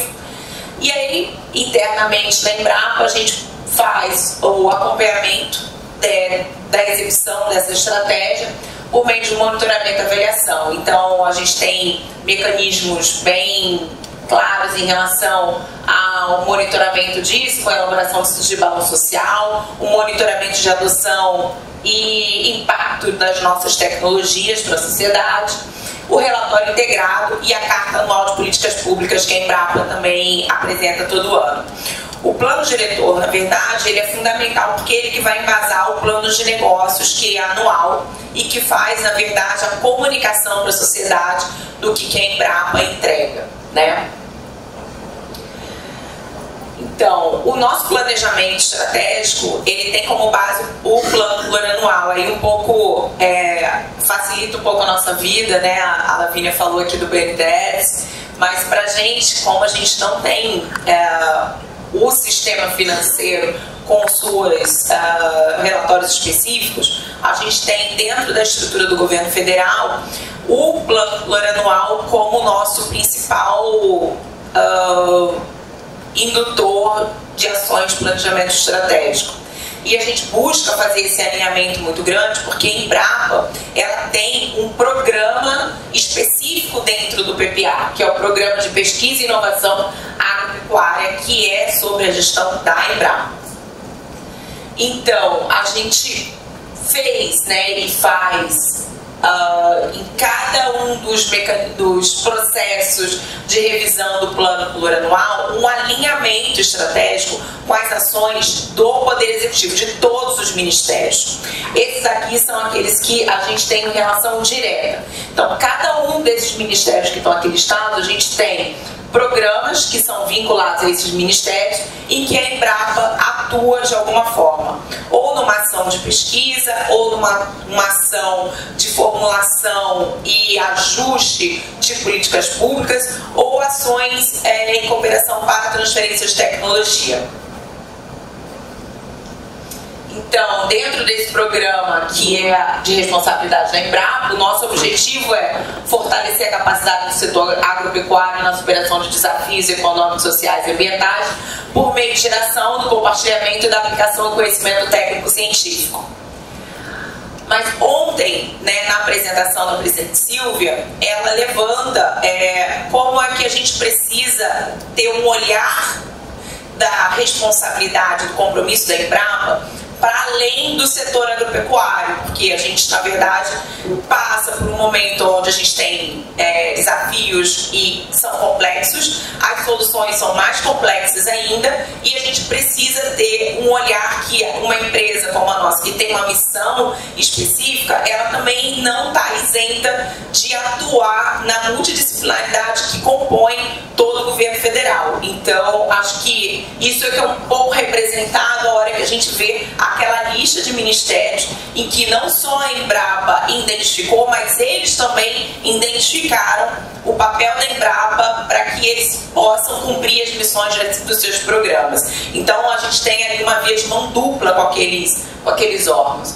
Então, isso aqui é um pouco é, é o detalhamento do PPA, né, onde que a gente está, muito específico. Esse aqui é a parte da Embrapa especificamente, né? Mas para cada um daqueles ministérios, a gente identifica indicadores que estão relacionados a, a gente, aos nossos compromissos. Né? Isso se traduz também dentro do sistema de planejamento do governo federal, que é o CIOP. Então a gente é, cria ali os termos de compromisso e responsabilidade que a Embrapa tem no cumprimento da, e execução do plano plurianual do governo federal. E aí a gente, na verdade, traz isso né, para o plano diretor da Embrapa. O plano diretor da Embrapa, é, ele na verdade é um planejamento que a Embrapa realiza desde 1990. Né? A, a gente tem ele num horizonte ali de 10 anos, mas ele é revisto né, de forma é, periódica. E o plano de negócios ele é um plano anual, como, como eu havia mencionado. Né? Como é que se dá? A nossa última atualização do PDE, do sétimo PDE, foi o ano passado, e isso é muito importante porque a, é, a gente estava entrando num novo ciclo de governo, né? Então, esse período de 10 anos ele teve já alguns ajustes, então o nosso último ajuste foi o ano passado, e como é que ele se dá, né? Uh, em alguns anos a gente teve parceria, né? A Unicamp costuma ser uma parceira importante para gente, o GEOB, o pessoal do CGE é essa consulta ao ambiente externo, então a gente faz entrevista com os stakeholders, tem uma consulta das chefias das unidades, dos seus grupos de pesquisa, é, de todos os 43 centros, com seus principais stakeholders, para que a gente valide isso. Tem uma consulta área de inteligência estratégica, que é o grupo que fica na Embrapa Sede, em parceria com as equipes que estão distribuídas nos centros de pesquisa da Embrapa. Aí a gente passa por uma consulta do ambiente interno, que é traduzir o que veio, né, que foi identificado, teve essa antenagem feita pelo ambiente externo agora para o ambiente interno. Esse ano a gente teve né, uma inovação que foi a participação corporativa aberta, então apesar, além, né, para além das consultas aos portfólios de pesquisa, aos consultas dentro dos processos de gestão, foi criado um e-mail, né, onde os empregados poderiam também mandar diretamente as suas contribuições, e aí foi feito toda uma análise documental de setembro a outubro, foi um, uma, uma ação é, pactuada né, com a nova diretoria, com a presidente Silvia, então toda a empresa se engajou nesse processo. Então nós começamos aí a análise e a revisão do sétimo PDE propriamente dito, né, a revisão do plano de negócios do ano de 2023 2024, com revisão de metas, revisão de indicadores, proposições de ajustes e metas, tudo isso acontecendo no mesmo período em que a gente tinha também a construção do, pluri, do plano plurianual né, do novo governo. E aí, em, finalmente, novembro, dezembro, né, nós tivemos aí a validação tática operacional pela alta gestão da Embrapa, o chefe das unidades centralizadas, das unidades centrais. Isso foi apresentado ao Conselho de Administração, que validou a estratégia da empresa apresentado ao ministro também, né? E aí, agora temos aí a comunicação institucional do sétimo PDE, que vai estar acontecendo no aniversário da Embrapa agora, de 51 anos, em abril, final de abril. E o que, que uh, esse plano ele, ele, trouxe de novo, né? O plano, é, o diretor, ele trouxe também alguns temas que eles é, ganharam força né, nessa revisão da, das transições globais. Então a gente tem a questão da transição alimentar e nutricional, emergência climática, transição energética e transformação digital. Isso já estava lá, mas na verdade ele ganha um, um, novo, um novo peso né, quando a gente faz essa revisão, esse processo de revisão. Então o mapa da estratégia da Embrapa, né, aqui tem, tá naquele tripé missão, visão e valores, né? É, levando em consideração as transições globais, as políticas nacionais e globais e as entregas né, para os beneficiários e parceiros, então, as tecnologias emergentes disruptivas, a tendência de consumo e agregação de valor, a inclusão socioprodutiva digital, a bioeconomia, economia circular, né, recursos naturais e mudanças climáticas, segurança alimentar e saúde única, e produção, sustentabilidade e competitividade são os principais eixos que vão nortear né, a programação da Embrapa. E aí aqui, para cada um deles, é construído um objetivo estratégico que vai derivar é, indicadores. Né, isso aqui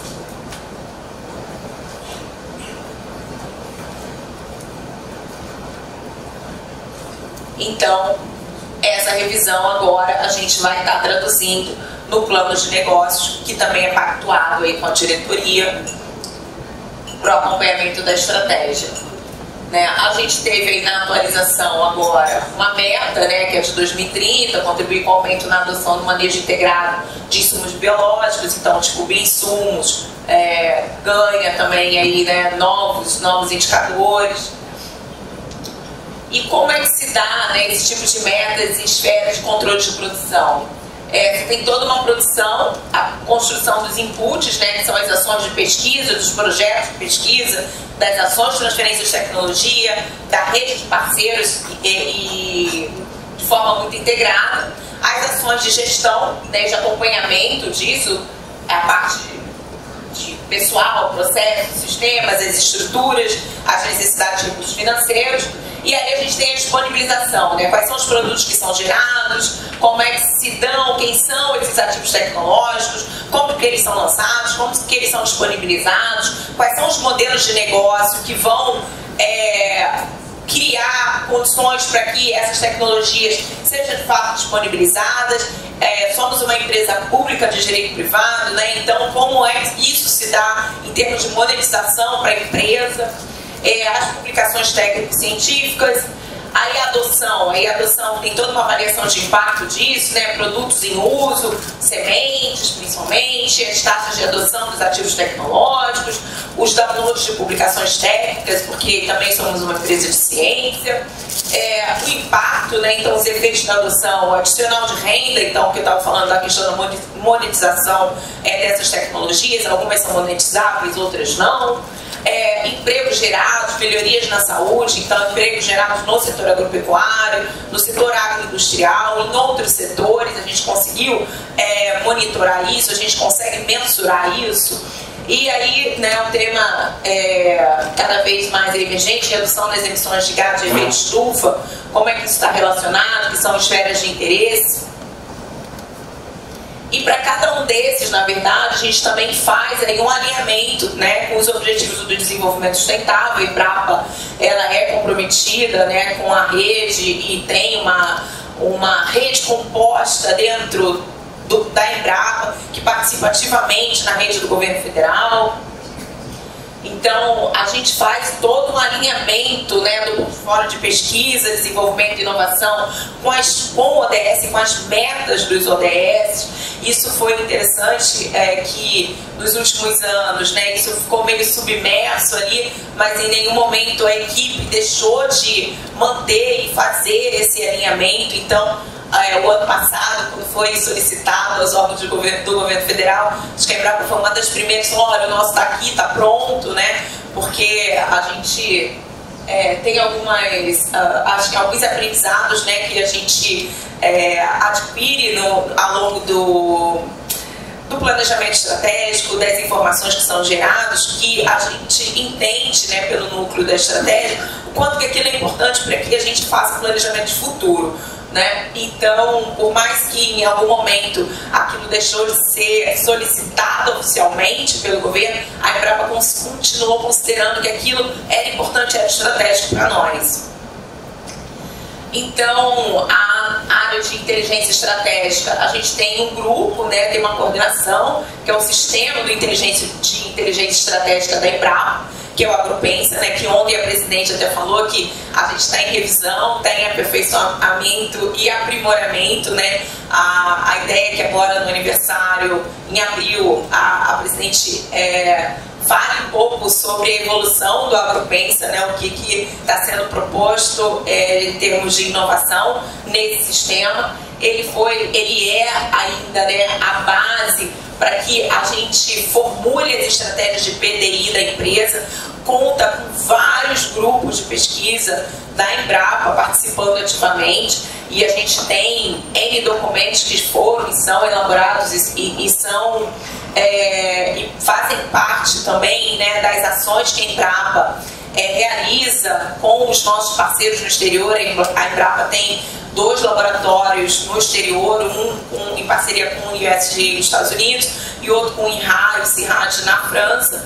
Né? Então, é, esses documentos, eles, eles captam, na verdade, todas essas tendências e uh, ajudam a gente a preparar documentos estratégicos aqui que vão é, para ações nos ministérios, para os ministros, né, para os órgãos de governo. Então, na página hoje do Agropensa, a gente tem alguns dashboards aqui, é da cadeia do pescado, a gente tem os observatórios e os centros de inteligência que estão todos descentralizados nas unidades né, de, de, pesquisa. Então, a gente tem o Centro de Inteligência de Mercado em Aquicultura, que é muito demandado pelo próprio Ministério de Pesca e Aquicultura e pelo IMIDIC, na área de de exportações, o Observatório de Tendências de Agroenergia, o Centro de Inteligência de Aves e Suínos, o de inteligência de carne bovina, de mercados caprinos, tem da tabuleiros costeiros, fruticultura, de, o centro de mandioca, o de leite, né, do café e o, o Observatório das Mulheres Rurais.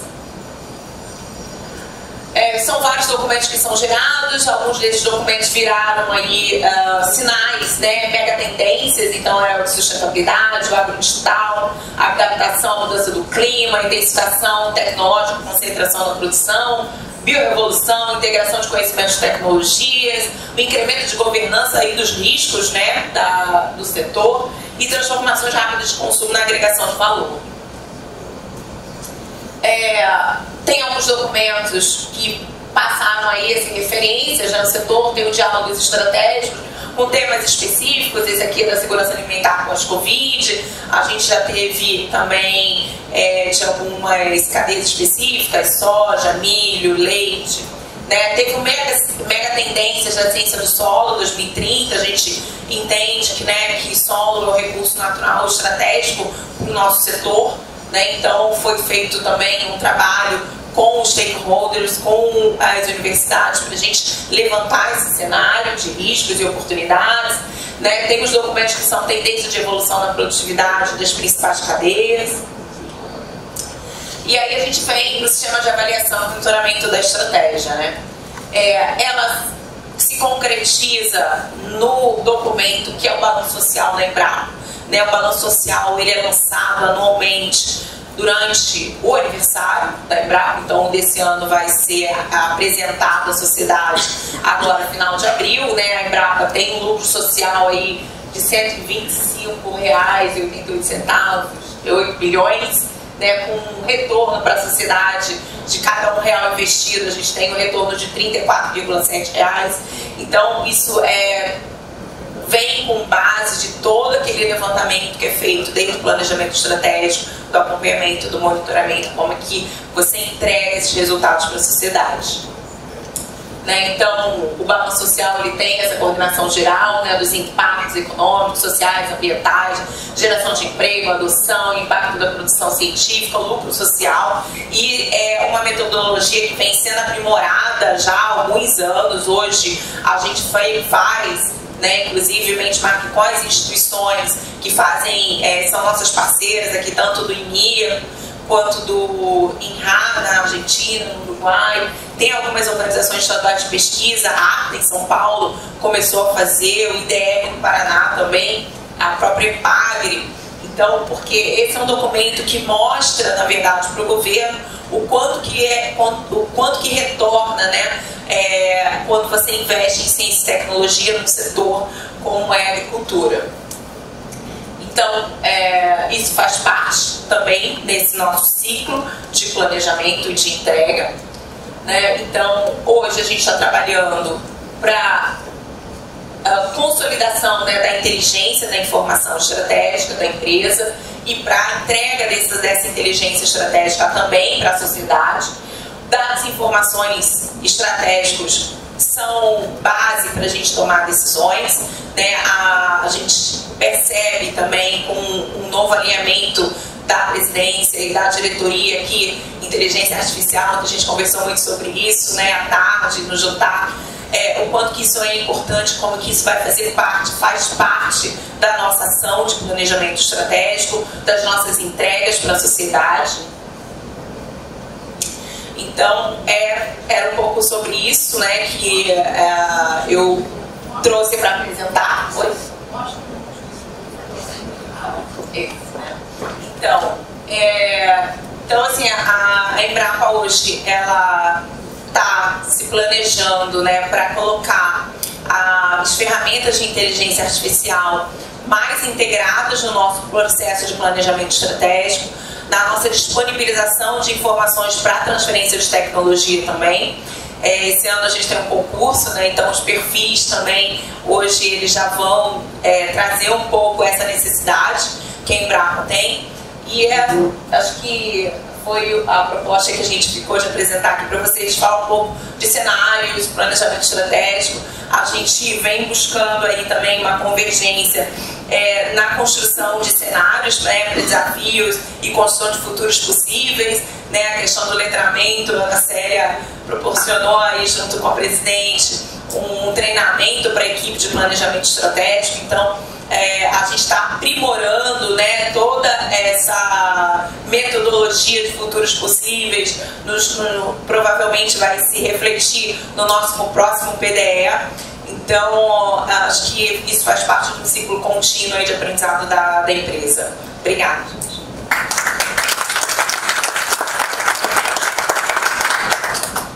Eu queria agradecer muito a doutora Petula Nascimento pela excelente apresentação você nos mostrou um sistema altamente sofisticado, amadurecido ao longo do tempo e que penso que ajuda a entender ou a nos fazer entender um pouquinho o êxito né, do sistema de agronegócios do Brasil. Não é à toa que essas coisas acontecem. É, então, parabéns e eu me permito, se você concordar, e, e, e fazer com que essa sua apresentação seja também uma, como uma homenagem póstuma ao Dr. Alisson Paulinelli, falecido em junho do ano passado. O Dr. Alisson Paulinelli foi ministro da Agricultura e, e, nesse contexto e ao longo de todas as décadas posteriores, um, enorme, um grande apoiador da Embrapa, da lógica da Embrapa, um defensor eh, da pesquisa e da incorporação de conhecimento no sistema agro. Durante muitos anos foi conselheiro do CGE, acho que chegou a quase a ser decano do conselho, pelo tempo que ele ficou, e ele, é, eles são memoráveis as participações dele, é, sempre começando com um tom baixo e crescendo ao longo do tempo, né, de defesa é, da, do sistema em geral, agropecuário, mas da Embrapa especificamente, né, fizemos muito, mas não é garantia de que isso continue. É, então, se você concordar, uma homenagem ao Dr. Adson Paulinelli.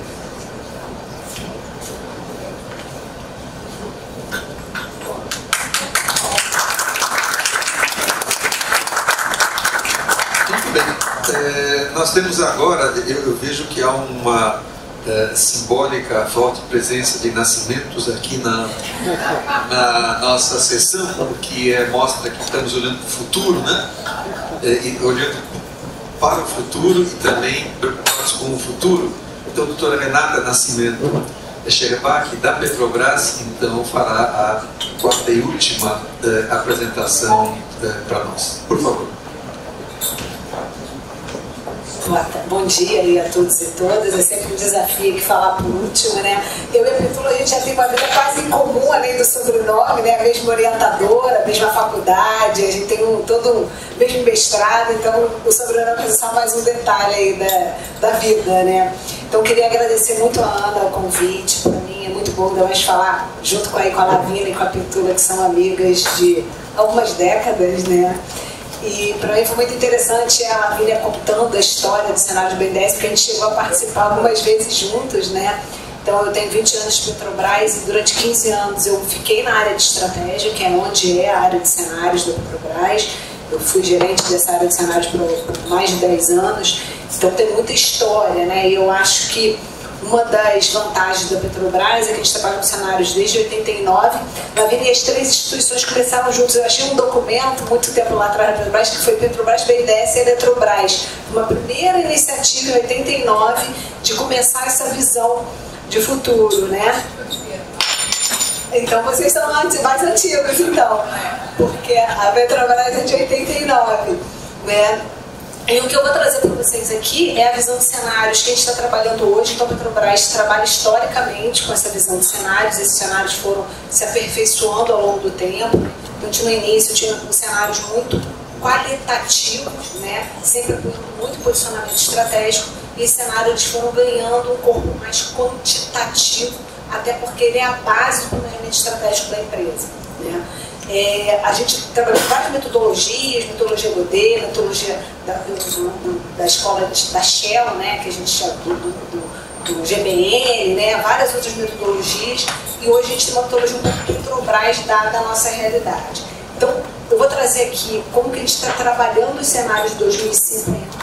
Né? Então, vamos ficar um pouco assustados com a questão do tempo, mas o tempo de maturação dos nossos negócios são de 30 anos. Então, entre eu descobrir, explorar, produzir, pagar aquele investimento de retorno do petróleo, são 30 anos. Então, a gente precisa, de fato, dessa visão de longo prazo. Então, é um pouco dessa essência do negócio da Petrobras que nos obriga a ter essa visão de meio, de meio longo prazo. Né? E aí, é, além dessa visão de longo prazo, muitas coisas já foram colocadas aqui, porque a Lavínia trouxe muita questão da legitimidade. Né? A gente entende que os cenários a gente tem que ser muito legítimos dentro da empresa. Então, essa questão da participação, principalmente da participação dos tomadores de decisão, é muito importante. Por quê? Porque eles têm que entender o porquê que o mundo pode mudar ou não e quais são as ameaças e oportunidades dessas mudanças. Né? E uma questão que a gente viu, observou também é da continuidade. Historicamente, a gente fazia cenários em ciclos, a gente fazia cenário mais ou menos de 4 em 4 anos, ou quando tinha um evento extremo. Só que acontece que agora a gente tem quase que evento extremo o tempo todo, né? Então, a gente, é, a gente vai falar um pouquinho, né? Covid, guerra, né? E para o nosso mundo da indústria, isso é... Vou passar logo as críticas. Você Isso. Então, é, a gente tem... Como é que a gente pensa o futuro, né? A gente, por que e como, né? A gente pensa o futuro para saber melhor o que desejamos ser, né? Então, o que a empresa quer ser lá na frente, né? uma visão empresarial. Quais os caminhos que eu posso tomar? Quais ameaças, quais oportunidades que eu posso ter nesse caminho? Né? E a gente, na indústria de e gás, né, a gente tem grandes investimentos no longo tempo de maturação. Então, gente, é, é, parte do nosso DNA ter que pensar nesse futuro. E a gente tem que tomar decisões de longo prazo hoje. Né? Então, a gente tem que fazer escolhas. Por exemplo, hoje, para mudar o portfólio dela, a gente que a gente é um transatlântico. Você não vira de uma hora para outra, você não pega né, um, 100 bi, que é o nosso investimento para os próximos 5 anos em óleo gás, e transforma para renováveis. Você tem que fazer isso de forma paulatina e de forma estruturada. Né? Então, a gente, a gente faz esse planejamento das empresas exatamente para conciliar né, as características dos investimentos, as incertezas que o ambiente externo né, nos, nos, é, nos é, oferecem ou estão colocados para nós, né, nas empresas de petróleo que estão exatamente nesse momento de muito questionamento e de muita incerteza. Né? Então, quem não acompanha a indústria não deve saber, mas tem várias empresas que já entraram na questão de renováveis e baixo carbono e estão voltando. Então, então, o que a gente sempre fala na Petrobras é que a gente quer tomar decisões muito assertivas. Então, a gente quer fazer uma, uma guinada, uma guinada sólida, sem precisar ter retorno. A gente trabalha hoje no, com esse fluxo contínuo, a gente não tem mais a questão de ver cenários de quatro em quatro anos. A gente sempre começa né, com essa primeira parte, como se fossem umas lições aprendidas, então a gente chama de identificação de lacunas. Uma segunda etapa, que é essa percepção da alta administração, então a gente está exatamente, a gente está fazendo uma grande revisão de cenários agora, onde a gente entrevistou toda a diretoria, todo o conselho de administração e um grupo grande de gerentes executivos da empresa, que são exatamente esses gestores que tomam decisão. É, a gente está trabalhando agora com uma parte de atualização de informações e ideação, então a gente une né, várias áreas da empresa. A gente tem o privilégio né, de ter um grande centro de pesquisa, né, que é o CENTES, que tem especialistas e cientistas de todas as áreas de conhecimento, então de robótica, a eólica, solar, hidrogênio. Né, então a gente tem esses experts que podem aportar para a gente essa visão de futuro e a gente entra numa parte de lógica desses cenários e quantificação. Nosso, a gente trabalha em média com três, quatro cenários, nossos cenários são todos quantificáveis e eles são muito importantes ser quantificáveis, por quê? Porque eles vão ser a forma que a gente faz decisão de investimento. Então, um, projeto de exploração e produção, ele tem que passar, que a gente fala, tem que ter VPL positivo, tem que ter retorno nos três cenários, seja no cenário de preço alto, seja no cenário de preço médio, tem que ter cenário de preço baixo. Por quê? A gente não sabe como é que vai ser o mundo lá na frente. Então, ele tem, o projeto ele tem que ser resiliente a qualquer cenário. Quando estou falando de preço do petróleo, é fácil. Quando a gente está falando de refino, é mais complexo, né? Porque uma refinaria sai diversos produtos. Sai diesel, que é gasóleo de aviação, óleo combustível, é, é, lubrificante. Então, a gente faz a quantificação também de todos esses preços e todos esses volumes. Né? Então, a gente faz uma quantificação muito grande de premissas para três, quatro cenários. Então, a gente tem uma equipe, na, na, equipe de cenário, uma equipe muito grande de, model, de modelistas. Né? Então, tem vários modelos, modelos mais estruturais, modelos mais econométricos, quando são mercados mais comportados, para suportar os nossos cenários. A gente tem uma etapa que é da narrativa, que é eu tenho a história dos cenários, que ela é robustecida de números, e a gente está com uma etapa nova que a gente está chamando de peer review. A gente está convidando analistas internos e externos para ver se a consistência desses meus cenários fazem sentido, se aquelas quantificações não estão sendo contraditórias. No nosso cenário anterior, a gente tinha um grande dilema, né? Aqui eu sei que tem vários economistas, a gente tinha uma dúvida se a transição energética ela aceleraria a questão da economia ou ela traria, um, uma, no primeiro momento, uma desaceleração. Então, o nosso cenário de transição energética mais rápida, ela tinha um crescimento econômico menor.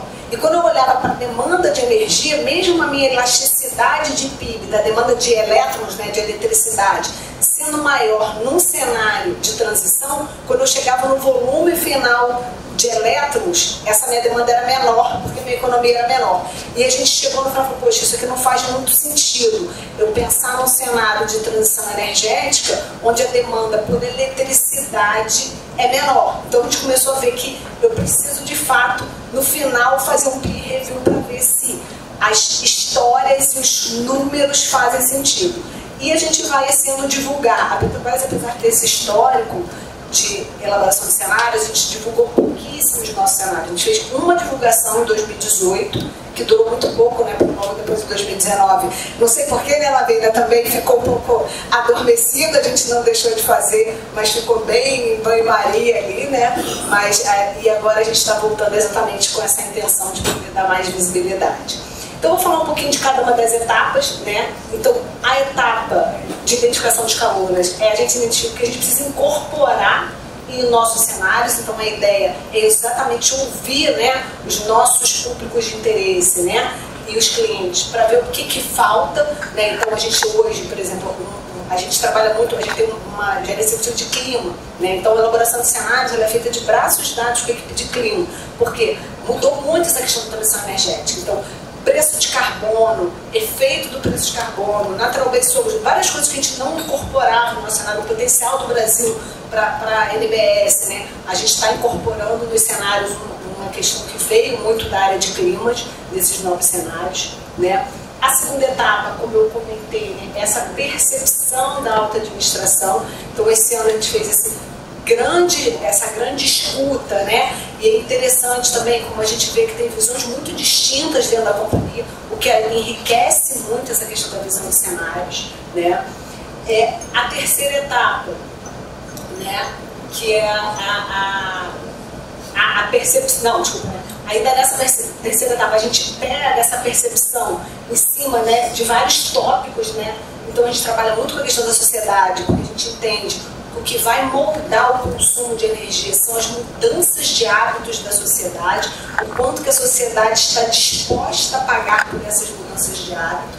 Né? Então, é, é, é, muito importante isso e a gente vê que existe questões geracionais muito importantes, né? quando a gente pega uma, uma geração mais jovem, uma geração mais antiga, os hábitos são muito distintos, eu não sei quem é que tem filhos ou jovens, a questão do dirigir, né? A minha geração era uma geração que o primeiro dinheiro que tinha queria comprar um carro, né? Essa nova geração não, não, não tem nenhum valor nisso e até o contrário, né? Se ela puder ir de bicicleta, porque ela vê que ela tem uma pegada menor de carbono para se deslocar. Né? A questão tecnológica ela é crucial, então quando a gente fala hoje muito de eólica e solar, então é muito importante, né? A gente está aí falando, falando da China, eu sempre lembro da gente visitando a TikTok, a gente não entendendo muito bem o que, que eles faziam, né? Como é que o Adriano lembra disso, né, Adriano? A gente visitando lá o TikTok na China, falando, como é que esse pessoal vai ganhar dinheiro? Não, isso não é possível a gente ver o TikTok hoje bombando a nossa mentalidade, né? Que não conseguia visualizar isso, mas a gente vê isso, por exemplo, eólicas e solares, né, hoje, custos super competitivos, por quê? Porque você teve um barateamento muito grande, né, tanto das placas quanto da questão dos reatores de, de, de, de das turbinas, né. Então isso facilita muito. Então quanto mais tecnologia, mais massa, mais barato, mais fácil. Então só lembrando, né, porque o, por que, que o mundo ainda é um mundo de petróleo? Porque é a energia mais barata disponível termos de densidade energética, a densidade energética do, do, do combustível fóssil é muito grande comparado com qualquer outro combustível disponível. Mas quando superar isso tecnologicamente e custo competitivo, rapidamente o petróleo vai ser superado. Né? A questão de meio ambiente, então, que fala muito com essa questão da tecnologia, né? então hoje já é consenso, né? não existe questionamento, né? que a questão da forma, dos nossos hábitos de consumo, ele afeta diretamente a questão do meio ambiente. A gente, no mundo da energia, a gente não tem como não falar da questão geopolítica, né? então o mundo hoje mostra isso, né? A gente tem uma concentração muito grande ainda, seja de recursos petrolíferos em regiões ainda muito restritas, seja hoje a questão da tecnologia, a gente está falando muito de China, né? A disponibilidade de tecnologia, que é hoje um recurso muito importante quando a gente está falando de energia. E a questão da economia, que é um mote, né? o crescimento econômico. E a questão, a gente vai falar um pouquinho assim, da distribuição dessa economia é muito grande. Quando a gente olha a diferença né, de consumo per capita de energia uma Europa dos Estados Unidos, quando a gente fala de Brasil, quando a gente fala de África, quando a gente fala de China e Índia, é um gap muito grande, a gente está falando de 5, 6 vezes mais. Então a gente não, não dá, por isso a gente fala muito, gente fala muito de seleção energética justa, né? Que é o que? Eu tenho que primeiro né, fazer a transformação da transição energética, mas garantir o acesso à energia de um grupo grande de pessoas que ainda não tem acesso à energia, porque energia é qualidade de vida, energia é saúde. Então isso é muito importante sempre fazer essa correlação. E aí, essa terceira etapa, né, a gente tem a apresentação dos temas relevantes que a gente chama das identificação que a gente chama de cenários das forças motrizes, né, são aquelas forças que mudam as tendências mundiais, como a mundiais e brasileiras, né, mudam as tendências dos cenários, e a gente faz esses grupos de ideação, que são esses grupos de temáticos que vão trabalhar com essas questões. E alguns temas para a gente importantes, como a gente fala, né, aqui é a questão do preço do petróleo, então a gente tem efeitos extremos, né, como foi a questão da Covid, que jogou o preço do petróleo para baixo de 10 dólares por, barril. A gente teve a guerra da Ucrânia, né, que é, colocou o preço do petróleo próximo de 100. Hoje a gente já está com o preço do petróleo muito alto, por, questão as questões mais recentes, né, ali do Hamas e do, do Oriente Médio, a gente está com preço a 93, então você vê que, é, que é uma incerteza muito grande, né, e é uma variável que é o coração do fluxo de caixa da empresa. Então, a gente tem que entender e, e ver quais são os extremos e estar preparado para qualquer um desses movimentos, né. A segunda grande questão hoje para a indústria de petróleo são as questões das mudanças climáticas. O quão rápido a regulação dessas mudanças das questões climáticas e como o governo vai financiar ou suportar essa transição é muito importante. Então, a gente está dando destaque aqui o né, que é o Flood Reduction Act dos Estados Unidos, né, que está fazendo uma grande transformação em termos de investimentos em renováveis, CCUS nos Estados Unidos. O Repower Union, que é uh, também um grande incentivo da União Europeia para essas questões, e ali a gente destaca né, o Energy Conservation Act da Índia, né, e um plano bem específico do Japão. A gente não trouxe aqui de China, que a gente sabe que vocês, né, os planos decenais da China já de muitos anos, né, não é à toa que a China é hoje o maior investidor em renovável, maior investidor em nuclear, todas essas questões são os grandes destaques em termos de renováveis estão hoje na China. Né? E aí um outro ponto que é muito crítico para a gente entender vai ser a penetração dos veículos elétricos nos países. Né? Então te traz aqui um destaque, né? É, a questão né, de percentual de vendas de veículos elétricos em diferentes países. Então, como a gente tem é, realidades muito distintas, né? a gente pega na Noruega hoje 80% das vendas de veículos novos, 80% são de EVs, são de veículos elétricos. Diferente de outros países, até mesmo do Brasil. Né? O Brasil a gente ainda tem uma, uma questão de vendas de elétricos menores, porque a gente tem uma matriz muito diferente, a gente tem uma matriz ainda muito calcada em bis, a gente tem uma matriz... A, o, o, problema hoje de emissões no Brasil não é do setor energético, não é principalmente do setor energético, como é da maioria dos países desenvolvidos. A nossa, a nossa principal emissão, aí a Petula conhece bem, né, é a questão de uso, da, uso do solo né, e, a questão de, de, de desflorestamento. E aí a gente faz essa discussão por mesas temáticas, né? então a gente tem as mesas, cada mesa ela fica circunscrita a um tema e as pessoas rodam essas mesas porque a gente tem a oportunidade de ouvir um, grande número de pessoas sobre vários temas. Então é uma dinâmica bem interessante e a gente chama pessoas com visões muito diferentes. A gente chama o pessoal que é de reservatório, de unidade de produção do SEMPES, né? o pessoal de finanças, porque você consegue ter essa visão muito múltipla né, de cada um dos temas, porque a gente sai com essa ideação que vai ser o coração das narrativas dos cenários. E aí, a gente começa a desenhar né, que mundo né, nós iremos, né, sempre lógica de história de, de, de, contar cenários, né, contar o mundo de trás para frente, né, como é que vai estar lá o mundo lá em 2050. Então a gente imagina né, que a gente tem três possibilidades, assim, isso aqui é bem teórico, né, a gente está trabalhando ainda, né, e ainda é, tem um quarto cenário que eu não trouxe, que é um cenário exatamente que todos esses cenários aqui são cenários preditivos. A gente tem um cenário que é um cenário normativo, que é como seria o net zero em 2050 o que eu precisaria fazer, o que, que o mundo e o Brasil precisaria fazer para chegar em 2050 com emissões zero. Por que, que a gente faz esse cenário de net zero normativo? Porque hoje eu não tenho tecnologia suficiente, nem recurso suficiente, nem compromisso internacional suficiente para chegar no net zero. Então tem que fazer uma conta de trás para frente quando a gente está falando de um cenário net zero. É, emissão zero em 2050. Então, a gente tem nos nossos cenários aqui o exemplo né, de três ritmos de transição energética, um mais lento, um mais moderado, um acelerado. E para eu ter essas transições, eu preciso ter mudanças de hábitos distintas. Né? Então, um mundo com acelerado na transição energética, vamos precisar ter mudanças grandes dos, do, do, do, do, consumos, né, de forma de consumir né, e hábitos nesse sentido, e uso de muita coordenação internacional.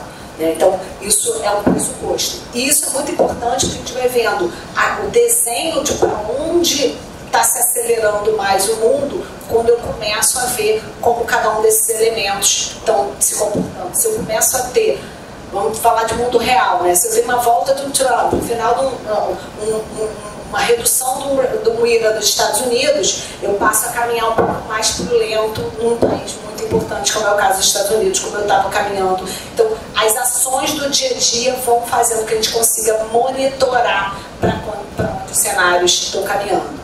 E o final, né, que a gente chama, que são as narrativas com quantificações, aqui eu trouxe só um dos exemplos de quantificação, que a gente quantifica a matriz energética mundial. Então, aquele, aquelas histórias, elas são materializadas em números, né?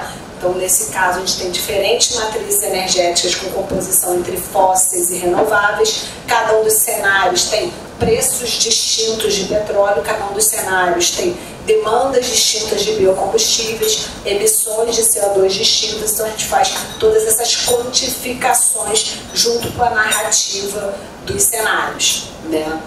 E aí a quinta etapa é o uso, né? Então, como eu comentei no início, os cenários da Petrobras, eles são o coração do processo de planejamento estratégico. Ele é a primeira etapa do processo de estratégico da empresa. Então, os cenários de visão 2050, a gente tem um plano estratégico, né, como a Petula trouxe, com visão, visão, missão e valores. Com essa visão de 2050, mas a gente também tem um plano de negócio, que é um plano de cinco anos, e um plano anual, que é um plano de um ano. Esse meu plano de negócio ele é todo quantificado, vou trazer em termos de CAPEX e é, investimentos por ano, a gente abre todo o retorno, né, toda uma parte mais quantitativa, mas também são usados para avaliação de reservas, para impairment, para avaliação pós-projeto, para ProVTE, para avaliação dos projetos. Então, na Petrobras todo mundo conhece os cenários, todo mundo tem os nomes dos cenários, porque cada um que tem o seu projetinho, ele sabe, os nossos cenários antigos era resiliência, base e crescimento, porque na gestão passada era o que a gente conseguia, Lavínia. É, não dava para ser nada criativo, né? Então era, era bem nesse sentido e todos sabiam, sabem, sabem o preço de petróleo e a história que está por trás, porque eles sabem que o projeto, se é um projeto de IP, ele vai ter mais dificuldade de passar num cenário de preço baixo, se é um projeto renovável, ele tem mais condições de passar num cenário de transição mais rápida. Então, a, a gente entende que dessa forma, né, a gente traz para a realidade, né, boa parte da equipe da, da empresa essa vivência de pensar o mundo diferente do que ele é hoje. Porque a gente realmente, a única certeza que a gente sabe é que a gente não sabe. Né? A gente não sabe. Eu, eu, eu, por muito tempo eu fiz previsão de preço de petróleo, né? E a gente falou assim, você tem certeza? Eu falei, a única certeza que eu tenho é que eu vou errar. Eu tenho certeza que não vai ser esse, mas eu preciso de um número para planejar eu preciso ter um leque de opções. Eu preciso que o número esteja entre esse mínimo e esse máximo, porque aí a gente não quebra a empresa que nem precisa dar permit se esse projeto, se o preço não for exatamente esse. A única certeza que a gente vai errar é, é com relação essas quantificações. Né? E aí a gente chega né, no resultado, que é, é um plano que a gente divulga todo ano, nosso, nosso plano de negócio, a gente revê todo ano com essa visão cinco anos à frente. Hoje o plano de negócio da foi divulgado em novembro do ano passado, prevê investimentos nesse horizonte 24, 28 102 bilhões de dólares. A gente ainda tem uma parcela significativa dos nossos investimentos ainda no negócio de exploração e produção, quase 70%. Por quê? Porque, como eu comentei, a gente é esse transatlântico, mas é importante a gente fazer essa virada. Né? E o que a gente mostra é isso, né? nosso investimento né? Para baixo carbono, né, ele vem um crescente, então ele hoje já é 10%, é 11, exatamente 11% de CAPEX do plano, você vê que nos últimos anos ele vem um crescente, e mais do que isso, quando a gente pega a, o investimento ano a ano até 2028, eu saio hoje de 6% e chego em 2028 com 16% do total do meu CAPEX. Então mostra que a empresa de fato está fazendo a mudança, está entende que é inevitável a transição energética, ela vai acontecer, a grande incerteza é em que ritmo. Né? E esse ritmo a gente vai moldando conforme a gente vai desenhando os cenários e vai acompanhando o que está acontecendo. Então, gente, eu agradeço aí, fico à disposição aí para as perguntas.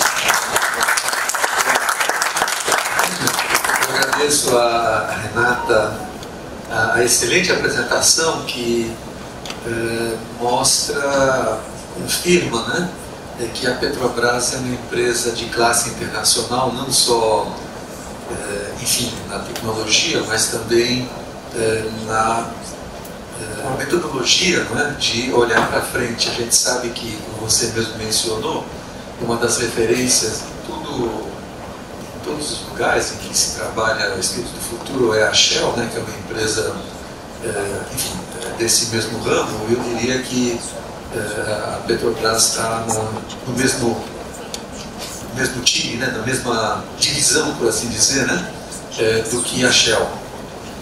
também me permito comentar que você falou corretamente né, da importância de eventos extremos que acontecem, você mostrou Ucrânia e Covid, etc. Mas eu queria também chamar a atenção que existem eventos extremos na própria empresa. E, portanto, a, a, isso para mim reforça é, a importância de ter uma equipe profissional interna, como você é um exemplo né, dos 20 anos, mas a gente conhece praticamente os centros, mas outras áreas também, uma equipe profissional forte, porque senão a empresa não sobreviveria aos eventos extremos que por razões diversas, essa empresa é submetida aos eventos políticos institucionais. Então, parabéns a você e a equipe permanente da Petrobras. É, só um comentário em relação a. Só para uma deve, deve. aqui da, da Petrobras e da Embrapa. É, nós, no, no, cenário de 15 anos, nós tínhamos, como falei, 200 variáveis, né? a gente ilustrava. Mas nós não temos um preço-chave como vocês. E mesmo a variável chave, que é o investimento, apesar da gente ser um ponto muito importante, a gente não determina a taxa de investimento da maneira como gostaríamos. Né? Então, assim, a nossa capacidade de influência é pequena. Então, para todas as análises de projeto, a gente tem um grupo de macroeconomia que vai, todo mundo tem usar mesmas, as mesmas taxas macro para todas as análises de projeto, mas não são essas dos cenários de longo prazo. Tem um outro time é um time de, é, de departamento. E eu achei muito interessante porque o crucial no deles é o PPA.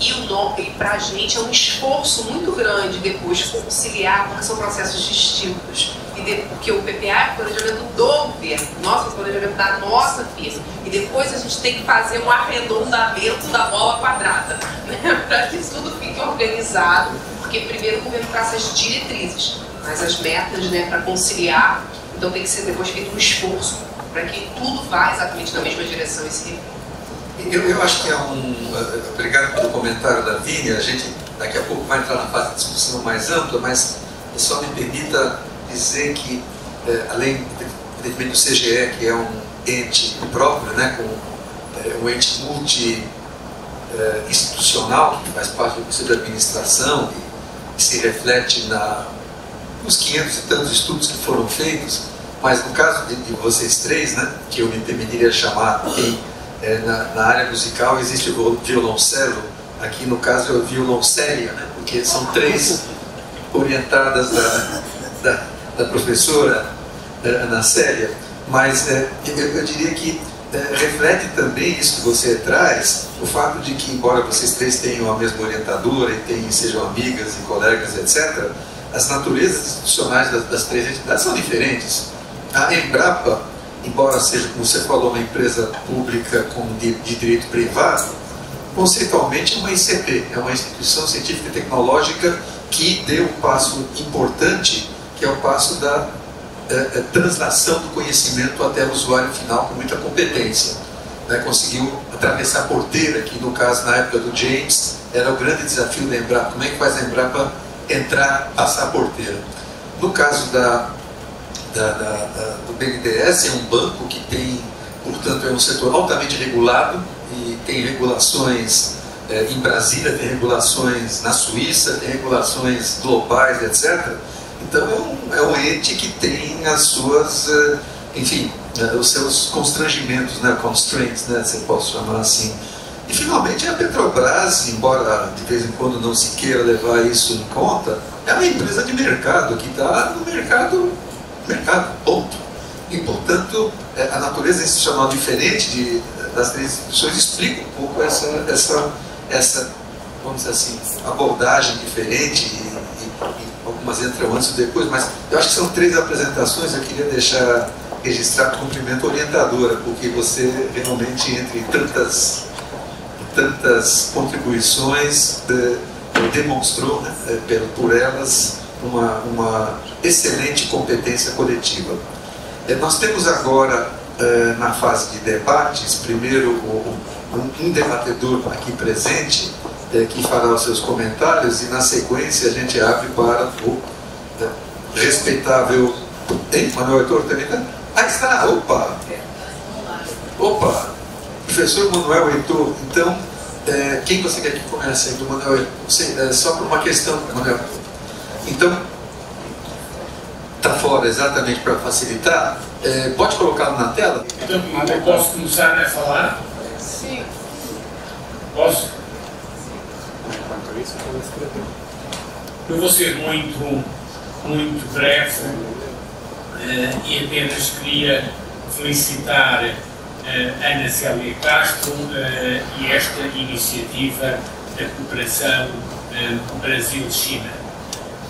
de facto, do ponto de vista da Europa, mas hoje podemos dizer que é consensual do mundo, vivemos um tempo novo um tempo particularmente eh, gerado por uma enorme, eh, uma enorme incerteza, como nunca tinha sido experimentado num contexto geopolítico particularmente fragmentado. Há cerca de duas semanas atrás, as Nações Unidas, através da Agência para o Desenvolvimento, o FDP, lançou o novo relatório 2023-24 exatamente sobre o tema da cooperação internacional no mundo, no mundo polarizado. Há cerca de um ano atrás, o relatório do desenvolvimento humano era sobre uh, tempos de incerteza um, e, obviamente, um, como mudar o mundo, um, um mundo em, em transformação. E este complexo de incerteza, nunca visto na história um, da humanidade, inclui níveis de desenvolvimento muito desiguais, uma desigualdade a aumentar ao nível do mundo, e ao contrário daquilo que se pensava há 20 anos atrás, as próprias tecnologias de informação e os sistemas avançados de informação têm aumentado esta desigualdade. Em outras palavras, quem tem acesso aos sistemas avançados de informação e consegue usá-los está em, em crescente vantagem face àqueles que usam telemóveis, mas não têm acesso ao conhecimento gerado por sistemas de informação e comunicação. E por isso, eh, como o relatório do desenvolvimento humano claramente transmite, nós estamos perante três tendências particularmente críticas para perceber o contexto da pesquisa, e da inovação, e mais uma vez reconheço que é central o tema desta, deste encontro. Por um lado, as desigualdades e as pressões que destabilizam o nosso planeta ao nível daquilo que se chama a emergência do antropoceno e vivemos, ou temos que perceber que há umas semanas atrás a Sociedade Internacional de Geógrafos e de Antropólogos recusou a entrada numa nova era e por isso não temos ainda as evidências necessárias que estamos numa nova era e nos termos científicos assim definidos, mas sabemos que temos forças desestabilizantes ao nível do mundo. Por outro lado, temos em muitas zonas do mundo, incluindo a América Latina, transformações sociais para fazer face a estas desigualdades crescentes eh, e, por outro lado, temos eh, a intensificação de um quadro de polarização política em todo o mundo, certamente aqui na Europa, mas também na América do Norte e na América do Sul, com movimentos chamados populistas a ganharem uma tendência. Gente, o Brasil conhece bem conhece bem essas tendências. É neste contexto que eu penso que é importante percebermos aquilo que na Europa temos chamado, no último ano, a necessidade crescente de perceber um, a pesquisa e a inovação centrada nas pessoas. A questão é dar nova centralidade às pessoas, de uma forma que também a transição verde, a transição ecológica seja feita essencialmente tendo as pessoas no seu centro, eh, para a qual é central uma nova, eh, uma nova eh, e uma revisitada políticas de ciência e de inovação.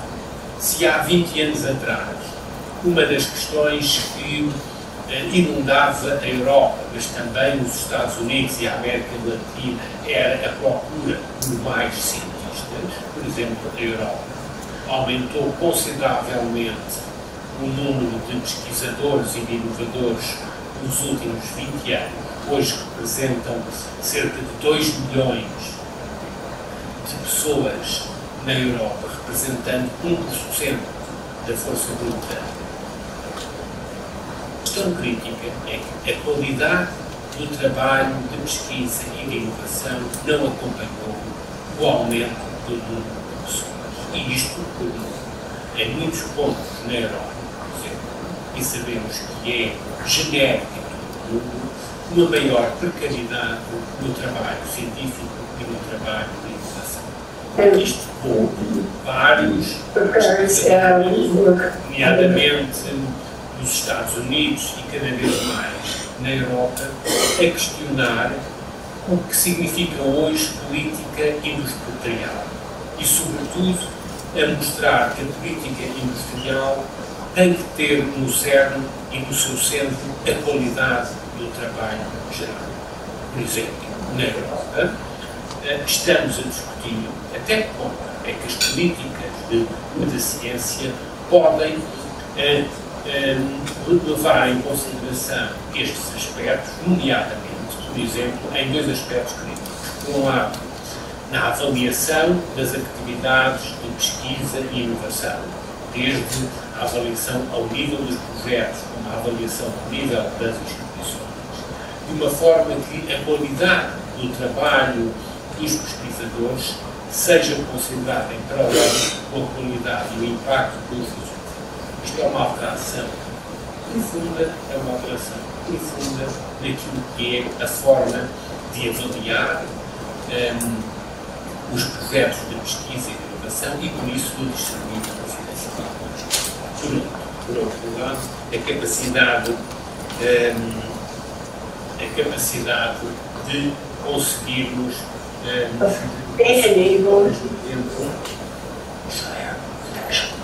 de conseguirmos. Eu estou a receber uma mensagem da Ana Célia. Não, I have a message. Tem algum problema?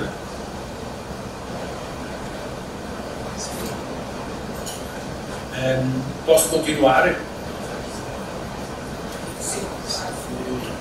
Um, portanto, diria eu a questão crítica que, para além dos, dos sistemas de avaliação da própria atividade de pesquisa e de avaliação, a necessidade também de lançar novas formas de financiar o desenvolvimento de carreiras científicas e de carreiras de inovação, quer no setor privado, quer no setor eh, público. E a questão crítica, mais uma vez, é centralizar e dar uma centralidade nova às pessoas. Ora, o vosso debate surge num momento particularmente crítico, de grande polarização política no mundo e de conflitos geopolíticos cada vez mais crescentes, onde a relação com o Sul é cada vez mais debilitante. Foi para isso que lançámos também, pela vossa colaboração, presentes, a iniciativa de uma rede informal, a que chamamos o conhecimento para as pessoas, para o planeta, através de parcerias, K4P Alliances, onde a Ana Célia Castro tem participado na sua dinamização e promoção, sobretudo para perceber ações concretas aonde a inovação, o desenvolvimento e a atividade de pesquisa beneficia da cooperação internacional.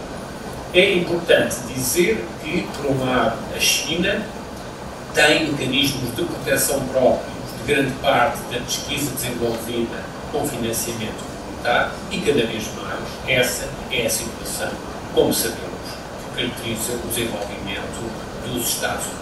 Hoje, na Europa, discute-se também como proteger a atividade de investigação, sobretudo face àquilo que foi as tendências dos últimos 10 anos de promover a ciência aberta. Esta é uma questão nova, também para os cientistas e para o contexto da inovação, eh, porque, obviamente e teoricamente, desenvolvemos que o conhecimento deve ser aberto para todos a National Science Foundation dos Estados Unidos publicou há umas semanas atrás um novo relatório sobre a proteção dos resultados da atividade de pesquisa nos Estados Unidos, argumentando que esse processo deve ser feito caso a caso, projeto a projeto. Em todo o caso, sabemos que, no mundo hoje, a investigação e a atividade científica está longe de estar totalmente aberta e, por isso, por um lado, a necessidade clara de promover uma ciência aberta a todos, porque sabemos que é um fator de, de desenvolvimento. E há questões críticas, no âmbito das quais lançámos a rede K4P Alliances, sobretudo com a alteração ecológica e o meio ambiente. Por exemplo, a necessidade de hoje aprofundarmos o nosso conhecimento sobre os sistemas e sobre os processos de fixação e sequestro de carbono, no qual o Brasil é um potencial um, interessado devido à enorme extensão de áreas florestais, a cruzar desde a Amazónia, mas também aos maiores e mais representativos manguezais em zonas tropicais, sobretudo no contexto da América Latina uh, os cinco principais biomas são todos eles centros com potencial crescimento da capacidade de fixação e de sequestro. Isto levanta novos problemas científicos, sobretudo sobre a monitorização desse, uh, desse potencial de fixação do carbono, mas também, para além da sua monitorização, a, a sua valorização económica.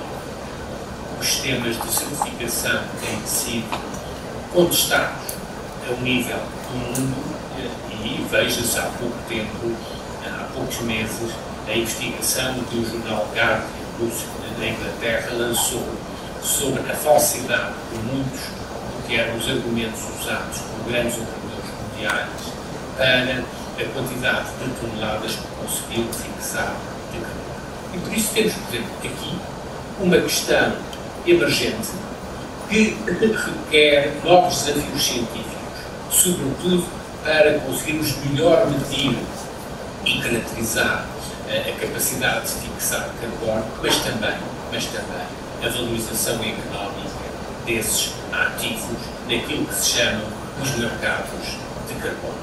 O carbono, de facto, hoje está a preços muito baixos, um, porque, de facto, um, resultam da dificuldade de certificar uh, e de regular os mercados de carbono. E aí uh, a cooperação com os países do Sul, em particular com a América Latina, Brasil e a África, são particularmente determinantes. E, portanto, apesar de estarmos num, num seminário da cooperação Brasil-China, eh, penso que este tema é particularmente crítico.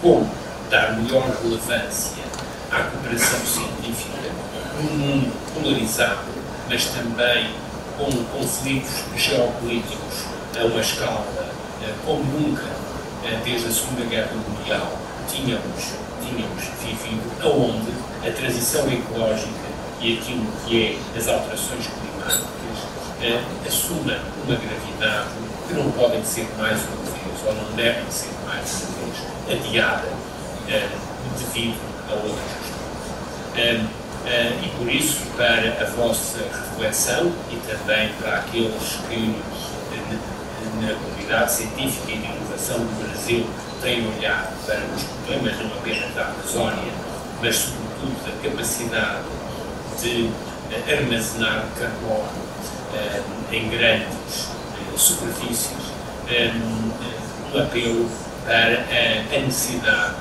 de aprofundar o contexto científico deste tipo de projetos, o que obviamente a caracterização deste processo é particularmente por isso também era observação, para também agradecer e reconhecer mais uma vez à Ana Célia Castro e ao vosso movimento de perceber a cooperação, neste caso, Brasil-China, num contexto tão complexo de, obviamente, polarização da vida política em todo o mundo, eh, na América Latina, na América do Norte, na Europa, eh, e aonde, obviamente, os valores intrínsecos à própria estão muitas vezes em causa quando se fecha o conhecimento devido a razões geoestratégicas ou geopolíticas, eh, obviamente, face a agressões às democracias eh, que temos hoje no mundo com regimes autocráticos. E esta polarização da vida política está, obviamente,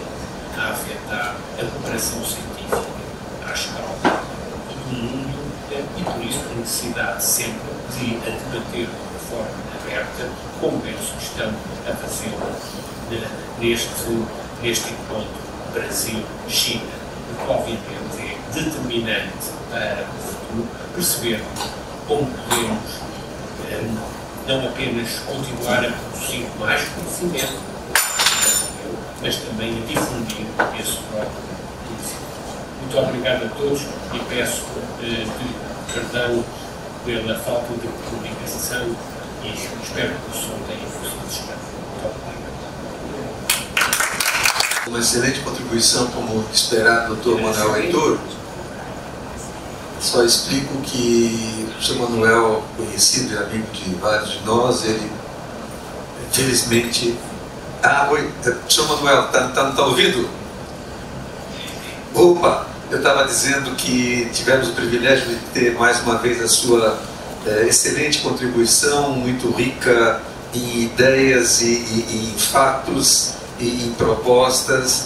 E, e eu estava explicando para os colegas aqui presentes, para os colegas, que é, você é amigo de vários de nós e nós ficamos bastante preocupados com, é, enfim, um desafio de saúde de grande magnitude que você teve ano passado e, e vê-lo, ouvi-lo é, totalmente lúcido, animado, é, como sempre, é, é um bálsamo para nós. Muito obrigado pela sua participação, Manuel.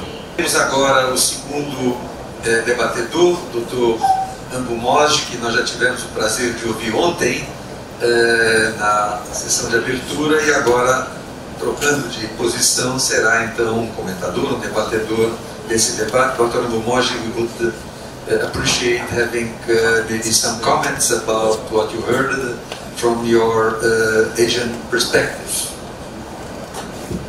Thank you, Chair. It's my pleasure to be here uh, this morning and uh, hearing all these fantastic speeches from Hotel 5 and uh, one from our colleague here from China and another, another five about the scenarios. Uh, So this is uh, supposed to be a debate and uh, that means uh, we need to agree to disagree. Yeah. there's, there's a hard, uh, basically, and given this uh, uh, five classical presentations, and uh, and also these our, our colleagues, uh, he's putting that is the the roadmap, that is that is the China is evolving, uh, becoming a kind of a, a technological superpower, and that will be translating into an economic superpower. Uh, but that is not easy. That is, that is where I wanted to start. And uh, the, the, the, the topic of uh, today's uh, conversation is uh, technological foresight as an institutional competence and its political objectives. There are three keywords. I think all these five presentation has uh, uh, correctly addressed and, and in, in a very, very different proportion. I would like to touch upon um, three points. That is, it is a kind of a summary of uh, reflections, and uh, later I can I can receive your, your feedback and to enlighten myself. Uh, one is about the the technology and the social needs. I think that is what uh, coming up from from our our uh, uh, friends, the Chinese persons, and also Renata's presentation about the digital technology, the speculative market. And, when we say about the technology, what technology that is we are discussing. And, if you know that is the, uh, the our friend, the Chinese friend mentioned uh, Yuan and uh, mentioned about the socio-economic needs. What is that? The technology that is going to improve the living standards of the common people, that is the people-centric approach. Or it could be a kind of a new new economic driver, and that is what where that we have been seeing in several of the uh, Asian economies, like like uh, Japan, Korea, and then Taiwan. And, uh, they, they invented the technologies and then they exported it. And, and uh, during this process, uh, uh, they, their economic gain and this economy's gains being uh, trickled down to the people. And the people, they could able to remove substantial number of people out of the poverty by investing on the technologies. And we also need to acknowledge the fact that is uh, some of these countries are not the prime movers and uh, are the are, they are the second movers. And I think Chinese colleague mentioned about these um, uh, first movers advantage. We do have the second movers advantage, where you can incorporate the technologies and then you can transform into a business model. And when you're buying, this is what, what happened in Japan in 1960s and 1950s. They bought this uh, invention that happened in Europe and happened in America, and then they invented their own and they modified these technologies, and then they exported it for the global things. This, this happened, and so here we have a, uh, we need to debate and for whom these technologies are, whether it is for the people or for the rest of the world or for the economy. And we also need to see that exists, the technology is not a kind of a, a common spectrum. And we have a indigenous technologies and the local technologies. We do have the conventional technologies. We do have the advanced technologies, like, like the digital technologies. And we do have a disruptive technologies. That is, that is replacing our, our business as usual. And this, this need to be clarified and uh, I'm not sure how far the scenario analysis and, and, and, and uh, has captured and uh, all this, uh, uh, this uh, the, the wide spectrum of uh, technology that, that exists. It is, it, is, it is a very difficult and, and uh, for example in the case of the digital agriculture and it is completely different from what happened during the Green Revolution in the 1960s. Green revolution happened at the farm level. But the digital revolution is happening completely at the, at the value chain. It, it is a kind of a, there is no spot. Basically, it is, it is a widespread at the society level. How we can capture the realities. And what, what are the hard spots that, that we need to identify. Second, second thing that is that is uh, I, I expected, and it is somehow that is also uh, related in the, the, the uh, presentation and, and, also I think uh, Lavina mentioned about this, this bank, there is a the speculative market and, and when we are thinking about the technology and innovation, it has to become with the finance. Who is going to finance uh, these, these investments on the innovations? Here it is a, it is a market picture and, and uh, most of our uh, initial technological inventions and, and uh, basically it's all curiosity driven. Curiosity driven by the individual researchers. It is supported by the national budget and, that it is coming from the science and technological funds. Or sometimes it is, it is a private funds or some philanthropic funding. But there is also other type of funding that is kind of mission oriented and that is where that is China and, and uh, Korea and Japan are now now moving in and this is basically they wanted to be a leader in for example 5G technologies or the electrical vehicles and that Elon Musk put a lot of his fortunes on the, EVs and, and uh, Toyota has put the, the hybrid but they, they basically couldn't able to predict the future and, and uh, they, they invested a lot on the hybrid. Now, now they are kind of a locked in situation and they could not able to come out of it. This also happened in, in the fossil fuels. And, and uh, there's a lot of public funding is going on the R&D and which is very much mission driven. On the other hand, this is uh, individual researchers, there is a curiosity driven.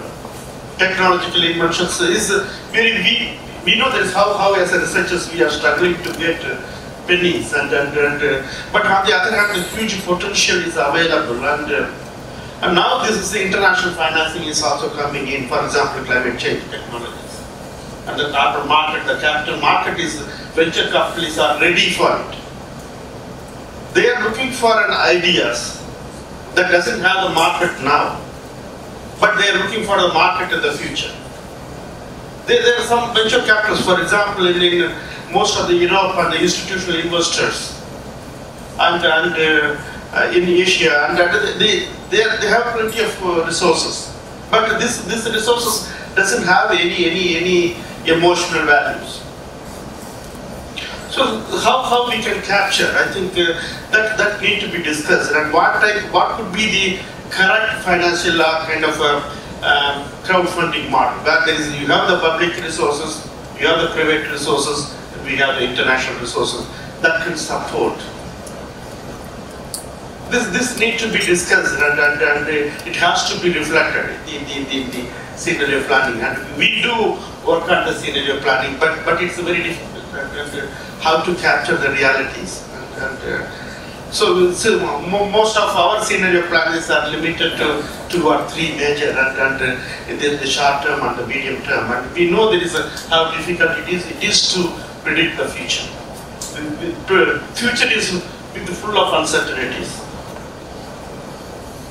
But but we need to address these these uh, assumptions that is we make.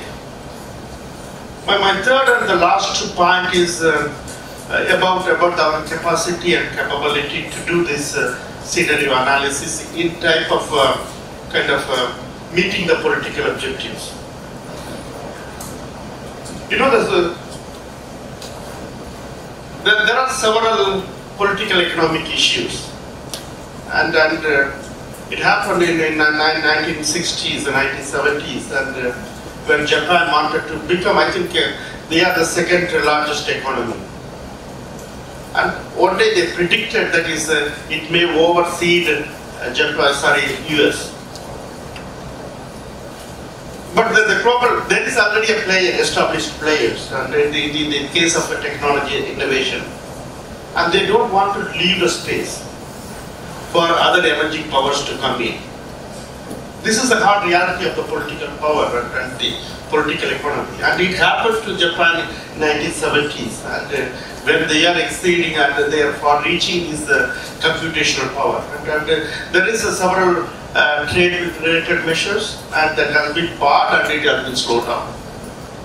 It could happen in China also, and they, they and, and uh, there is already there is I think the political economy is moving and how to contain China, and it, it has some implications. And our, our scenario analysis uh, unfortunately could not be able to bring this into uh, models that is uh, estimated models. And it's uh, very difficult. But but uh, these uncertainties exist and we need to as researchers we need to address it. Another another uncertainty is uh, like like like a political economy and uh, um, this this technological landscape also be affected by the shocks. The shocks that is coming from uh, economic shocks like like 2008 financial crisis. And many public and the private funding has uh, basically retarded and they scaled down. Because the government doesn't government and the private sector doesn't have the fiscal space to spend on the innovations and the technologies second thing is it happened in the, in the, in the, the covid and you know that is uh, within a year and, and uh, the global forces has been put forward and they could be able to develop a vaccine. So crisis is a kind of a blessing and also also kind of a curse. So we, how, how we can predict this, this kind of a potentials when, when we are developing the scenario analysis? Or when we are developing a kind of a technological uh, a roadmap. So we need to take into consideration this kind of uncertainties that, that could be a kind of a blessings. And, and this is a COVID-19 is a, a classical example and, and where there is the, the whole world is looking for a solution and, and uh, the, the US, I think Trump, we are blaming Trump, on, but but he, he could able to release the uh, yeah projects with a mission with unlimited funding. This also happened when, when we sent the first man to the moon, and the NASA NASA had at the time it is unlimited funding. But they had a mission goal, and, and uh, US wanted to be the first one to land the moon.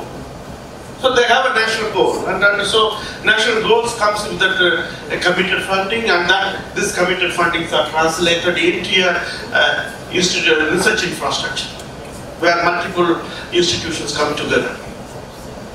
So my, my, my last point is, is, is that is that is also one thing that's a reality, and, and is uh, uh, our our scenario plannings are predicting the future, and this, uh, predicting the future is uh, with a lot of uncertainties. So how we develop the scenarios, it is all based on what type of assumptions that is we make. These assumptions need to be very real. And close to, if you go to the, close to the reality, then your output will become uh, close to the reality. But somehow we are ambitious and, and we often neglect. One of the negligence that we make, and uh, I, I do that is uh, uh, net zero modeling for, for the ASEAN 16 countries. But, but what, what we often neglect is uh, this technology and the innovations uh, happening in the silos.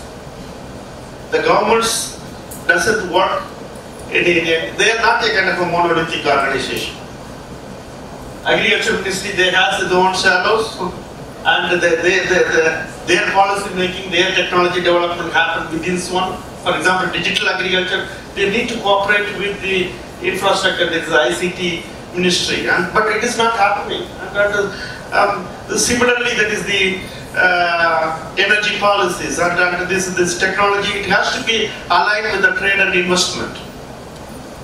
There is a custom rules are there. And uh, so, so this is a hard reality and, and our scenario often neglect and we assume that is this is uh, there is one monolithic government that is looking at innovation as a kind of an economy-wide activity. But but in reality, it is happening in silos, and, and uh, uh, we need to address as, as researchers, and we need to address. We need to improve our institutional capacity building. Stop. Thank you. Uh, thank you very much. Muito obrigado. Deixa eu ver se speak português não. Ah, Só que é muito português. Muito, obrigado, eh, doutora Dumont, pela, pela sua excelente eh, contribuição ao debate.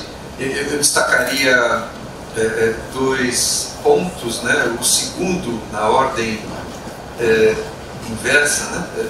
Começando é exatamente a questão institucional. O governo não é monolítico, o governo é uma confederação, e se eu lembro, também pegando um ponto que o senhor levantou, a crise 2000, a, a, as crises financeiras mundiais com seus reflexos, é, a experiência melhor que eu conheço no Brasil, tentativa de trabalhar integradamente o governo para certas missões, foi na época do governo FHC 2, quando se criaram os programas Brasil em Ação, na verdade, no primeiro, mas principalmente Avança Brasil. E é, esse programa foi, na época, é, o primeiro que aplicou gestão por projetos para o setor público e foi instrumental, Renata, é, para isso a participação de um ex-gerente executivo do centro, José Paulo Silveira, que conseguiu, então, fazer com que várias daquelas, várias daquelas iniciativas, inclusive o projeto do Gasoduto Brasil-Bolívia, é, a, a, a, a, transformação do Nordeste em um polo de atração turística, as questões de mais, mais variadas possíveis, né?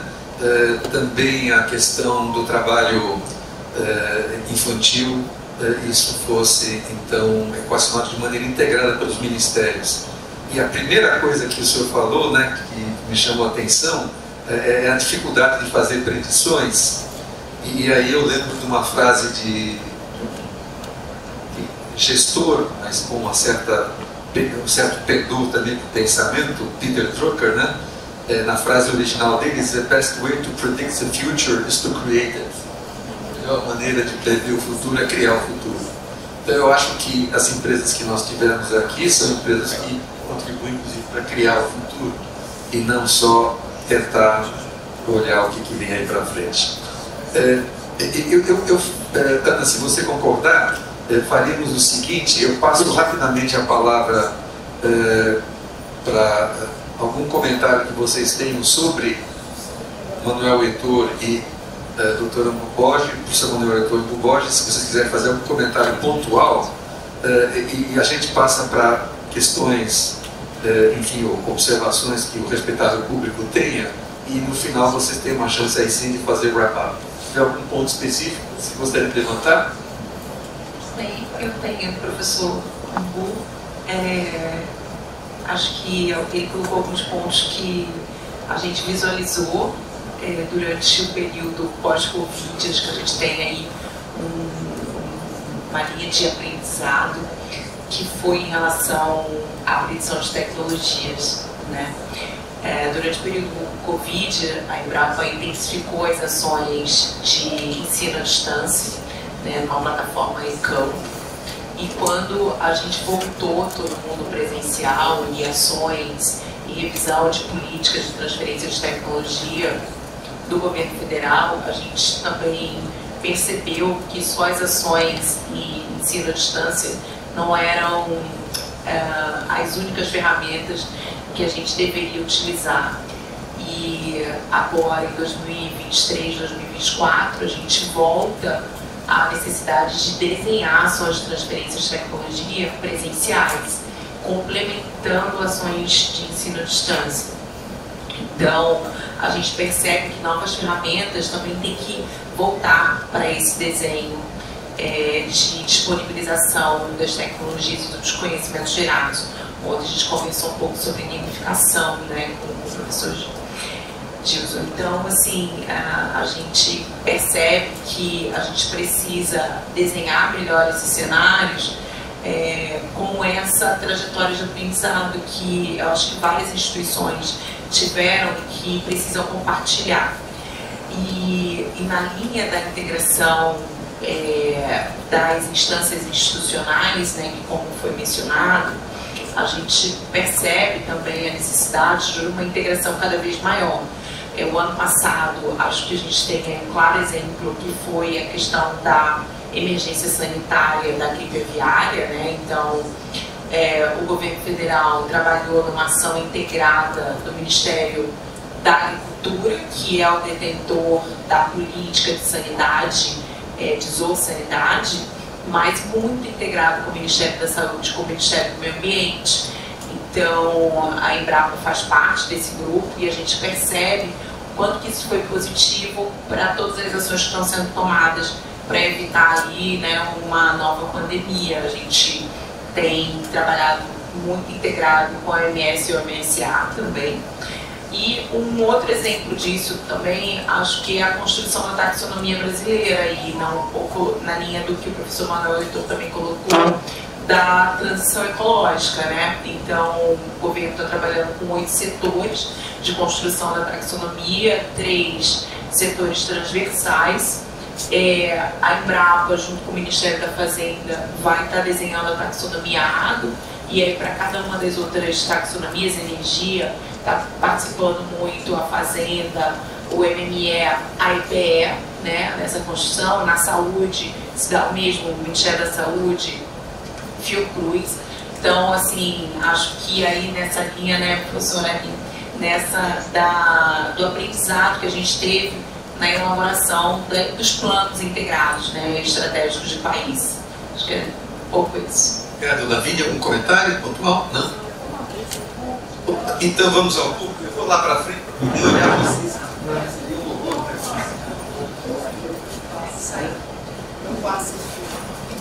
Quer fazer algum Tá. A palavra está aberta. Perguntar Petrobras. Por favor, só, só identifique aí para fins de registro histórico. Tá, ótimo. Bom dia, boa tarde, claro. É, queria agradecer a presença de todos. Meu nome é Yuri, né? As apresentações, desculpa. Meu nome é Yuri Lima, eu trabalho com o professor Jano no Laboratório do Futuro, da Copa FRJ, com a professora Ana Célia no Instituto de Futuro, da FRJ. E a minha pergunta vai no sentido de como a gente trabalha com tecnologia né, e, e prospecção, é, de entender talvez um pouco Petrobras, BNDES, né, Embrapa principalmente, como é que vocês têm visualizado a utilização da IA nesses processos que vocês vêm fazendo, se não me engano a Petula chegou a comentar né, de algumas perspectivas, e como é que vocês visualizam isso né, nos próximos anos, a utilização dessas tecnologias? A gente faz alguns trabalhos nisso, a gente usa, por exemplo, o IA com Delphi para criar personas e rodar esses trabalhos. Então, acho que tem, tem alguns movimentos nesse sentido também de outras instituições. Eu queria ouvir um pouquinho sobre isso. Vamos, de, vamos dar Bacana. umas três É, é, o, o famoso pacote. Zé Mário. Zé Maria Silveira, é, estudo de economia do INCAP e NIP, é, diretor social do NIP, Unicamp. É, só queria perguntar, é uma curiosidade, a Petrobras tem um programa de capacitação de jovens empreendedores, né, ela está retomando isso porque um projeto grande de incentivar fornecedores, jovens empreendedores, você não mencionou só Chegaremos lá. É, Tem mais- Maurício Guedes. Então, Guedes. E depois a Luca. Vamos fazer um, um, uma- um- três perguntas que serão quatro. Eu sou, vou ficar de pé para vocês saberem que está vindo a voz. Maurício Guedes, eu atualmente estou na Secretaria de Desenvolvimento Econômico do, do Estado e tenho uma, uma pergunta para a Renata da Petrobras. É, se não me engano, nos teus, quando você terminou de apresentar os três cenários, é, a, a previsão de participação do petróleo na, na matriz energética mundial variava muito pouco. Se não me engano, de 21% no, no, cenário A, ou ao contrário, a 17%, uma, uma pequena variação. Né? Eu queria que você explorasse um pouco isso, se é que eu entendi corretamente, É, a expectativa, da Petrobras é que, independente do cenário, a participação do petróleo é, não vai variar muito. Se eu não entendi corretamente, por favor, me corrija. Obrigado. Duque, por favor. É para o Fernando. É, duas, duas uh, perguntas, comentários bem, bem rápidos. Quando você fala. Antônio Márcio Boinay. Ah, desculpa, Antônio Márcio Boinay, Instituto de Economia da Unicamp e INCP PEPET, desde o início. É, quando você é, mostrou aqueles dados da colaboração Brasil-China, né, é, eu senti falta de, de alguma informação sobre digamos, a relevância da, da comparação. E talvez isso no futuro vocês possam é, desenvolver né, alguma metodologia, algum mecanismo para tentar qualificar, né, porque ali ter desde um paper, é, sempre tudo é válido. Peixes né? ornamentais, é, por exemplo. É, e que, e que outros são muito mais importantes. O segundo, é, que para mim é mais importante, eu queria que você fizesse um comentário sobre, é, digamos assim, a, a, o drive dessa cooperação. Porque uma, uma, uma coisa que a gente percebe aqui no, no, no Brasil, quando falamos de cooperação, e a gente vê isso muito também na Embrapa, em várias instituições, as iniciativas acabam sendo iniciativas muito é, pessoais, muito dependendo de iniciativa dos pesquisadores, é, é, muito fortuitas e não dirigidas por um planejamento e por uma visão estratégica. Então, queria um comentário, se vocês chegaram a fazer alguma reflexão, de perceber é, nesse conjunto de é, cooperação se tem é algo mais orientado por plano, etc. Ou seja, são nossas iniciativas que, vamos lá, China, e eu, por exemplo, escrevi artigo com dois, três chineses, é, como resultado de uma viagem é, à China muito aleatória. Obrigado. Nós vamos agora fazer no sentido anti-horário. Sou Fernando primeiro.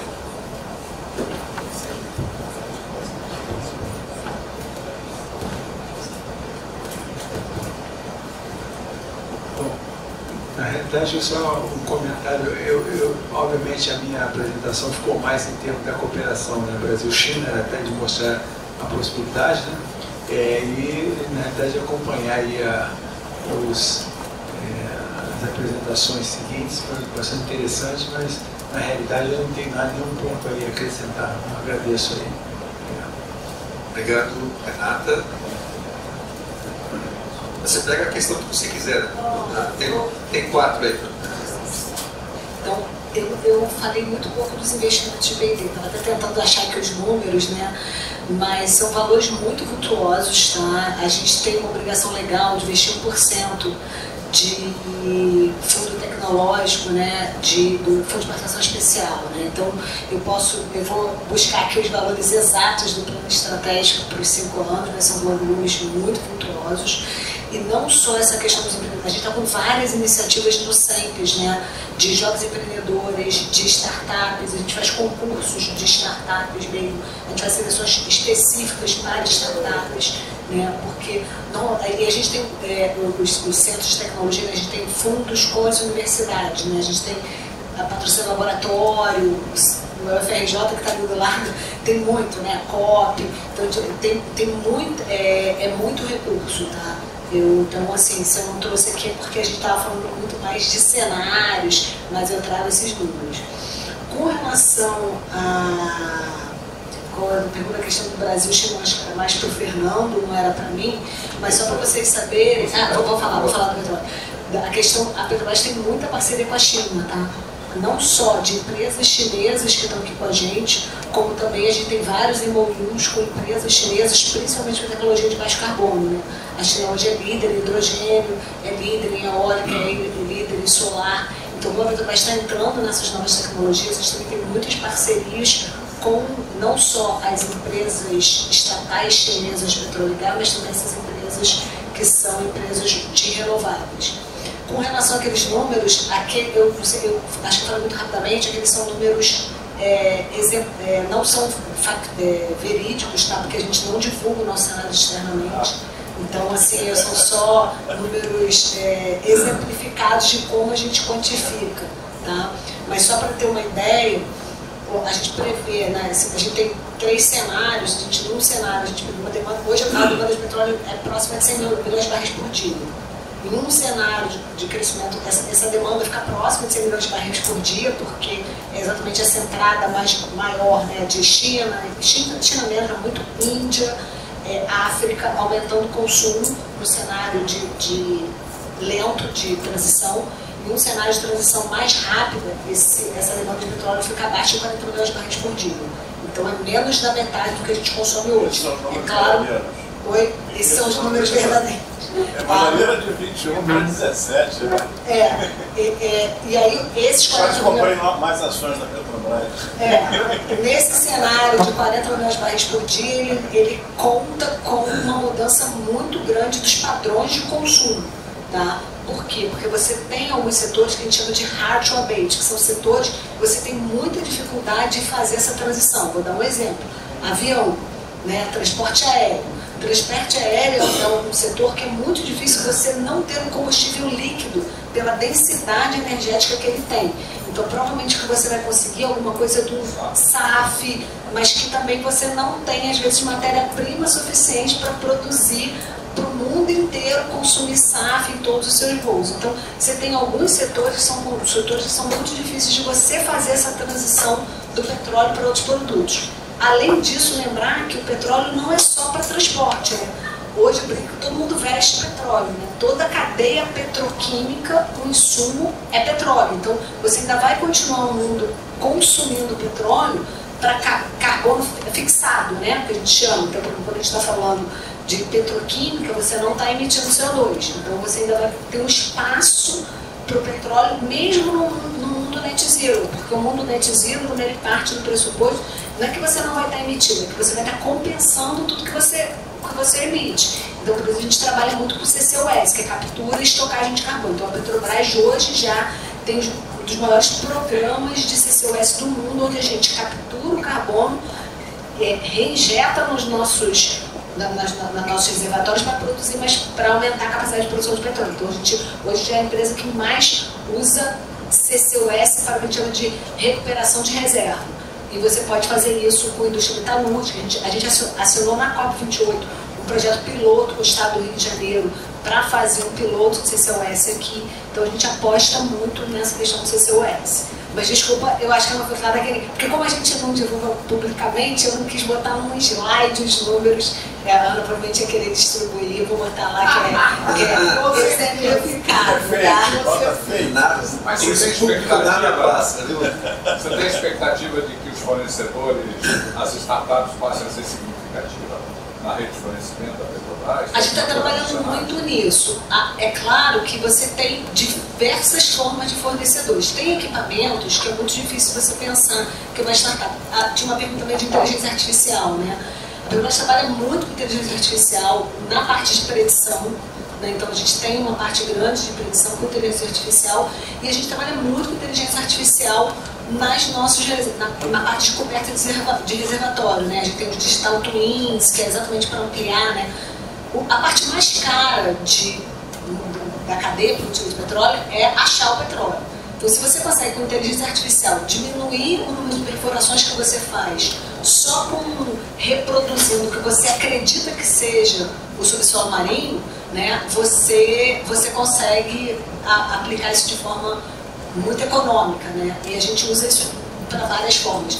Parte toda de logística também, a gente trabalha muito com inteligência artificial, né? a parte toda de, é, dos nossos painéis. Hoje, hoje você vai numa refinaria, ele é toda digitalizada, né? você tem poucos operadores numa refinaria. Muito obrigado. Davi, por favor. Explorar essa questão da inteligência artificial, né? É, a BTS também utiliza já bastante inteligência artificial, né, mas é um processo, ainda está em construção né, para fazer análise de dados e para fazer a prospecção de clientes, entender. É, há também um cuidado muito grande do BNDES no uso da tecnologia, como o senhor né, é, mencionou, mencionou, porque a gente entende que há também o problema de a gente não criar novas formas de discriminação de crédito. Então existe um cuidado muito grande em fazer essa discussão né, refletir como isso pode ser impactado.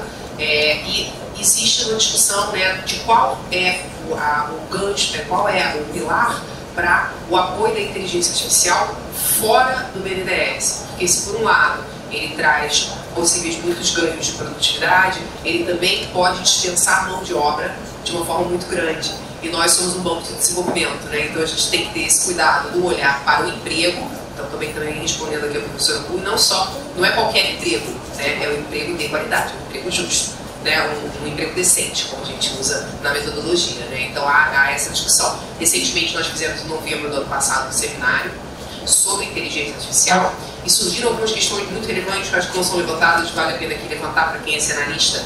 É, muito, algumas pessoas falam isso, mas nem todas as pessoas falam isso. Inteligência artificial consome energia de uma forma absoluta e usa muita água e água limpa para o resfriamento dos processos. Então, é uma questão muito grande é pensar as consequências ecológicas do uso disseminado da inteligência artificial, é pensar as consequências sociais do uso da inteligência artificial e também é possível ver as oportunidades. Né? O, o Alessandro Lombardi foi um palestrante que veio no nosso seminário de inteligência artificial e colocou uma questão muito interessante. O Brasil tem uma matriz energética muito.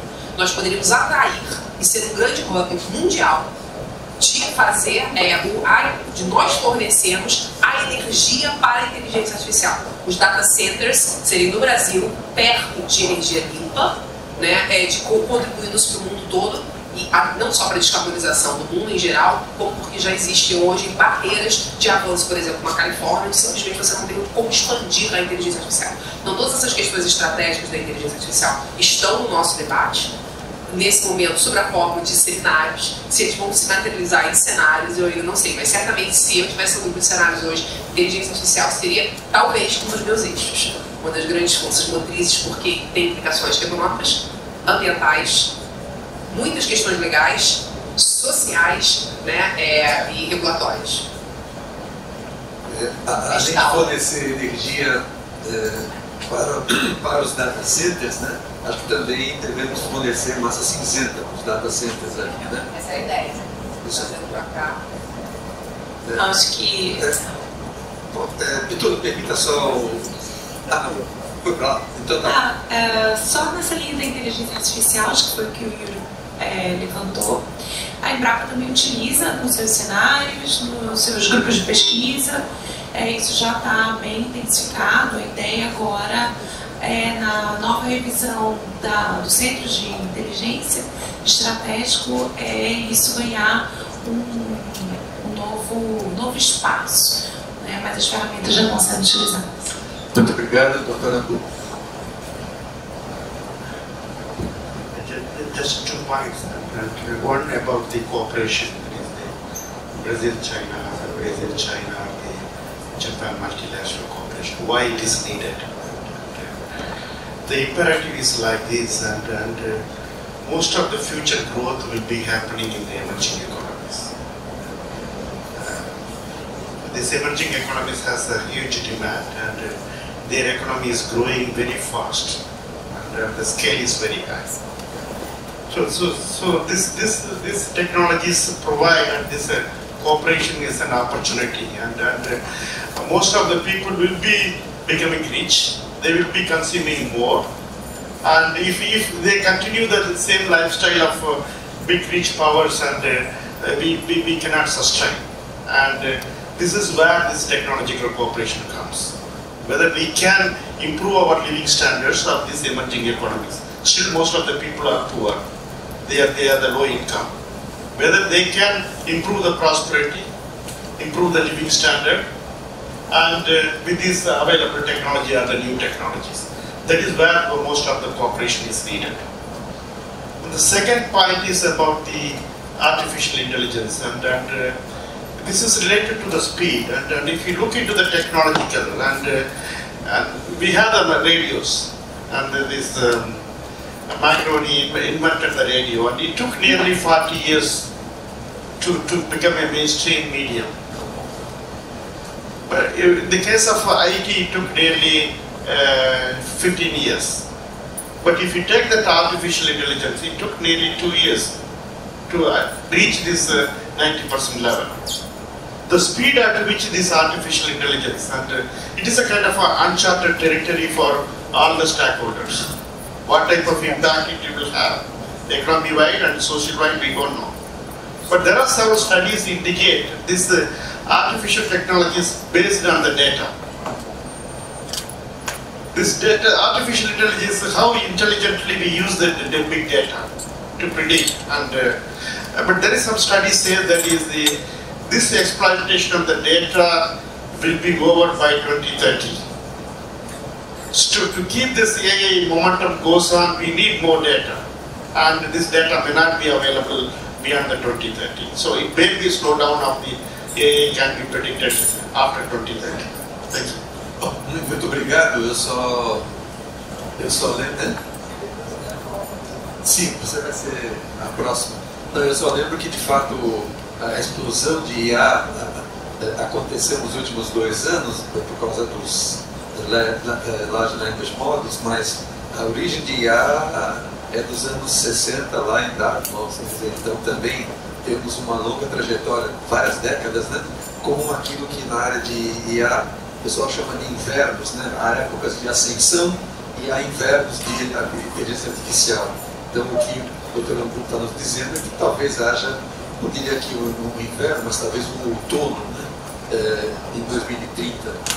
É, Ana, nós estamos no horário já passado um pouquinho, então acho que agora a vez é, é tua. E mais uma vez, parabéns pelo violoncelo. Eu queria enfim, dizer algumas coisas. Em primeiro lugar, que é, tudo começou com essa ideia de que nós íamos fazer um seminário com a presença da Castel, né, que ia nos contar como é o trabalho de Foresight. E acabou que os nossos trabalhos de Foresight são impressionantes, são muito impactantes. Então, eu acho que isso serviu muito para que a gente tivesse a consciência de que o que se faz no Brasil é da maior importância e está numa direção muito precisa e muito relevante. Então, é essa a primeira questão que eu queria dizer. Por conta disso, eu queria deixar uma ideia, que claro que eu não sei se é factível, não sei se vai ser implementada, mas eu quero deixar uma ideia, que é construir, nós falamos sempre do Innovation Ecosystem, eu acho que a gente devia falar de um, uh, um ecossistema de futuros né, e criar um ecossistema de futuros é, que, obviamente, na estrutura de governança, certamente o CGE seria o coordenador, né, teria a ideia da coordenação e reuniria os stakeholders, que nós já temos aqui vários deles e outros que iriam fazer parte desse ecossistema de futuros. Certamente o nosso Instituto de Futuros pode ser é, enfim, ajudar nessa construção, de bom, claro. E, e, e, eu acho que então, então essa ideia de que chamaria os stakeholders poderia adotar um modelo do consórcio da Embrapa, que é muito, que é um consórcio de produtos, esse é um consórcio de futuros, né? que eu acho que é uma ideia que poderia mobilizar todas essas instituições e congregar essas iniciativas porque o que eu percebo, que é realmente o grande problema, é a ausência de comunicação entre todas essas experiências que, obviamente, tem uma, tem uma sinergia imensa. Então, acho que é um momento de construir uma coisa institucionalizada e nós temos todas as instituições e todos os canais possíveis. E que, nesse, por exemplo, vou exemplificar com a ideia do Net Zero. Né? Net Zero é uma missão que tem, interessa a todas essas instituições e que, é, por exemplo, se, se, é, vira uma missão que é capaz de articular esse conjunto de instituições. E por último, acho que nesse, é, vamos dizer, supostamente, né, imaginando que isso seja possível, não sei se é possível, mas imaginando que seja possível, esse é, ecossistema de futuros teria então as inovações que são necessárias para essa construção, né? a ideia de que existem limites e quais são esses, como enfrentá-los, né? É, as, os constraints, né? as restrições e os limites, e os impactos sociais. Então, acho que é uma ideia interessante que a gente poderia levar. Já que eu fui citado. Eu percebi que eu tinha perdido a primeira pergunta em relação à inteligência artificial, né? então só para comentar, ontem por acaso eu comentei que já na conferência né, que nós estamos organizando, já estamos usando isso, né? vou até usar em relação à contribuição dessa aqui. Você já, já vem trabalhando também nisso. Mas eu gostei em relação ao futuro, que, é uma coisa que o CGE também trabalha há um tempo. Quer dizer, aqueles estudos que eu comentei do, do, do três termos, o pessoal usa muito Michel Godet, né? A, é o, o, o, o Ryan Miller, aquela antecipação de Future Literacy, né? que ele trabalha com antecipação de futuro, o grupo da Shell também. Né? Então, quer dizer, eu, eu acho que é muito boa a ideia e eu só quero dizer que o CGE aceita participar dessa empreitada. Então,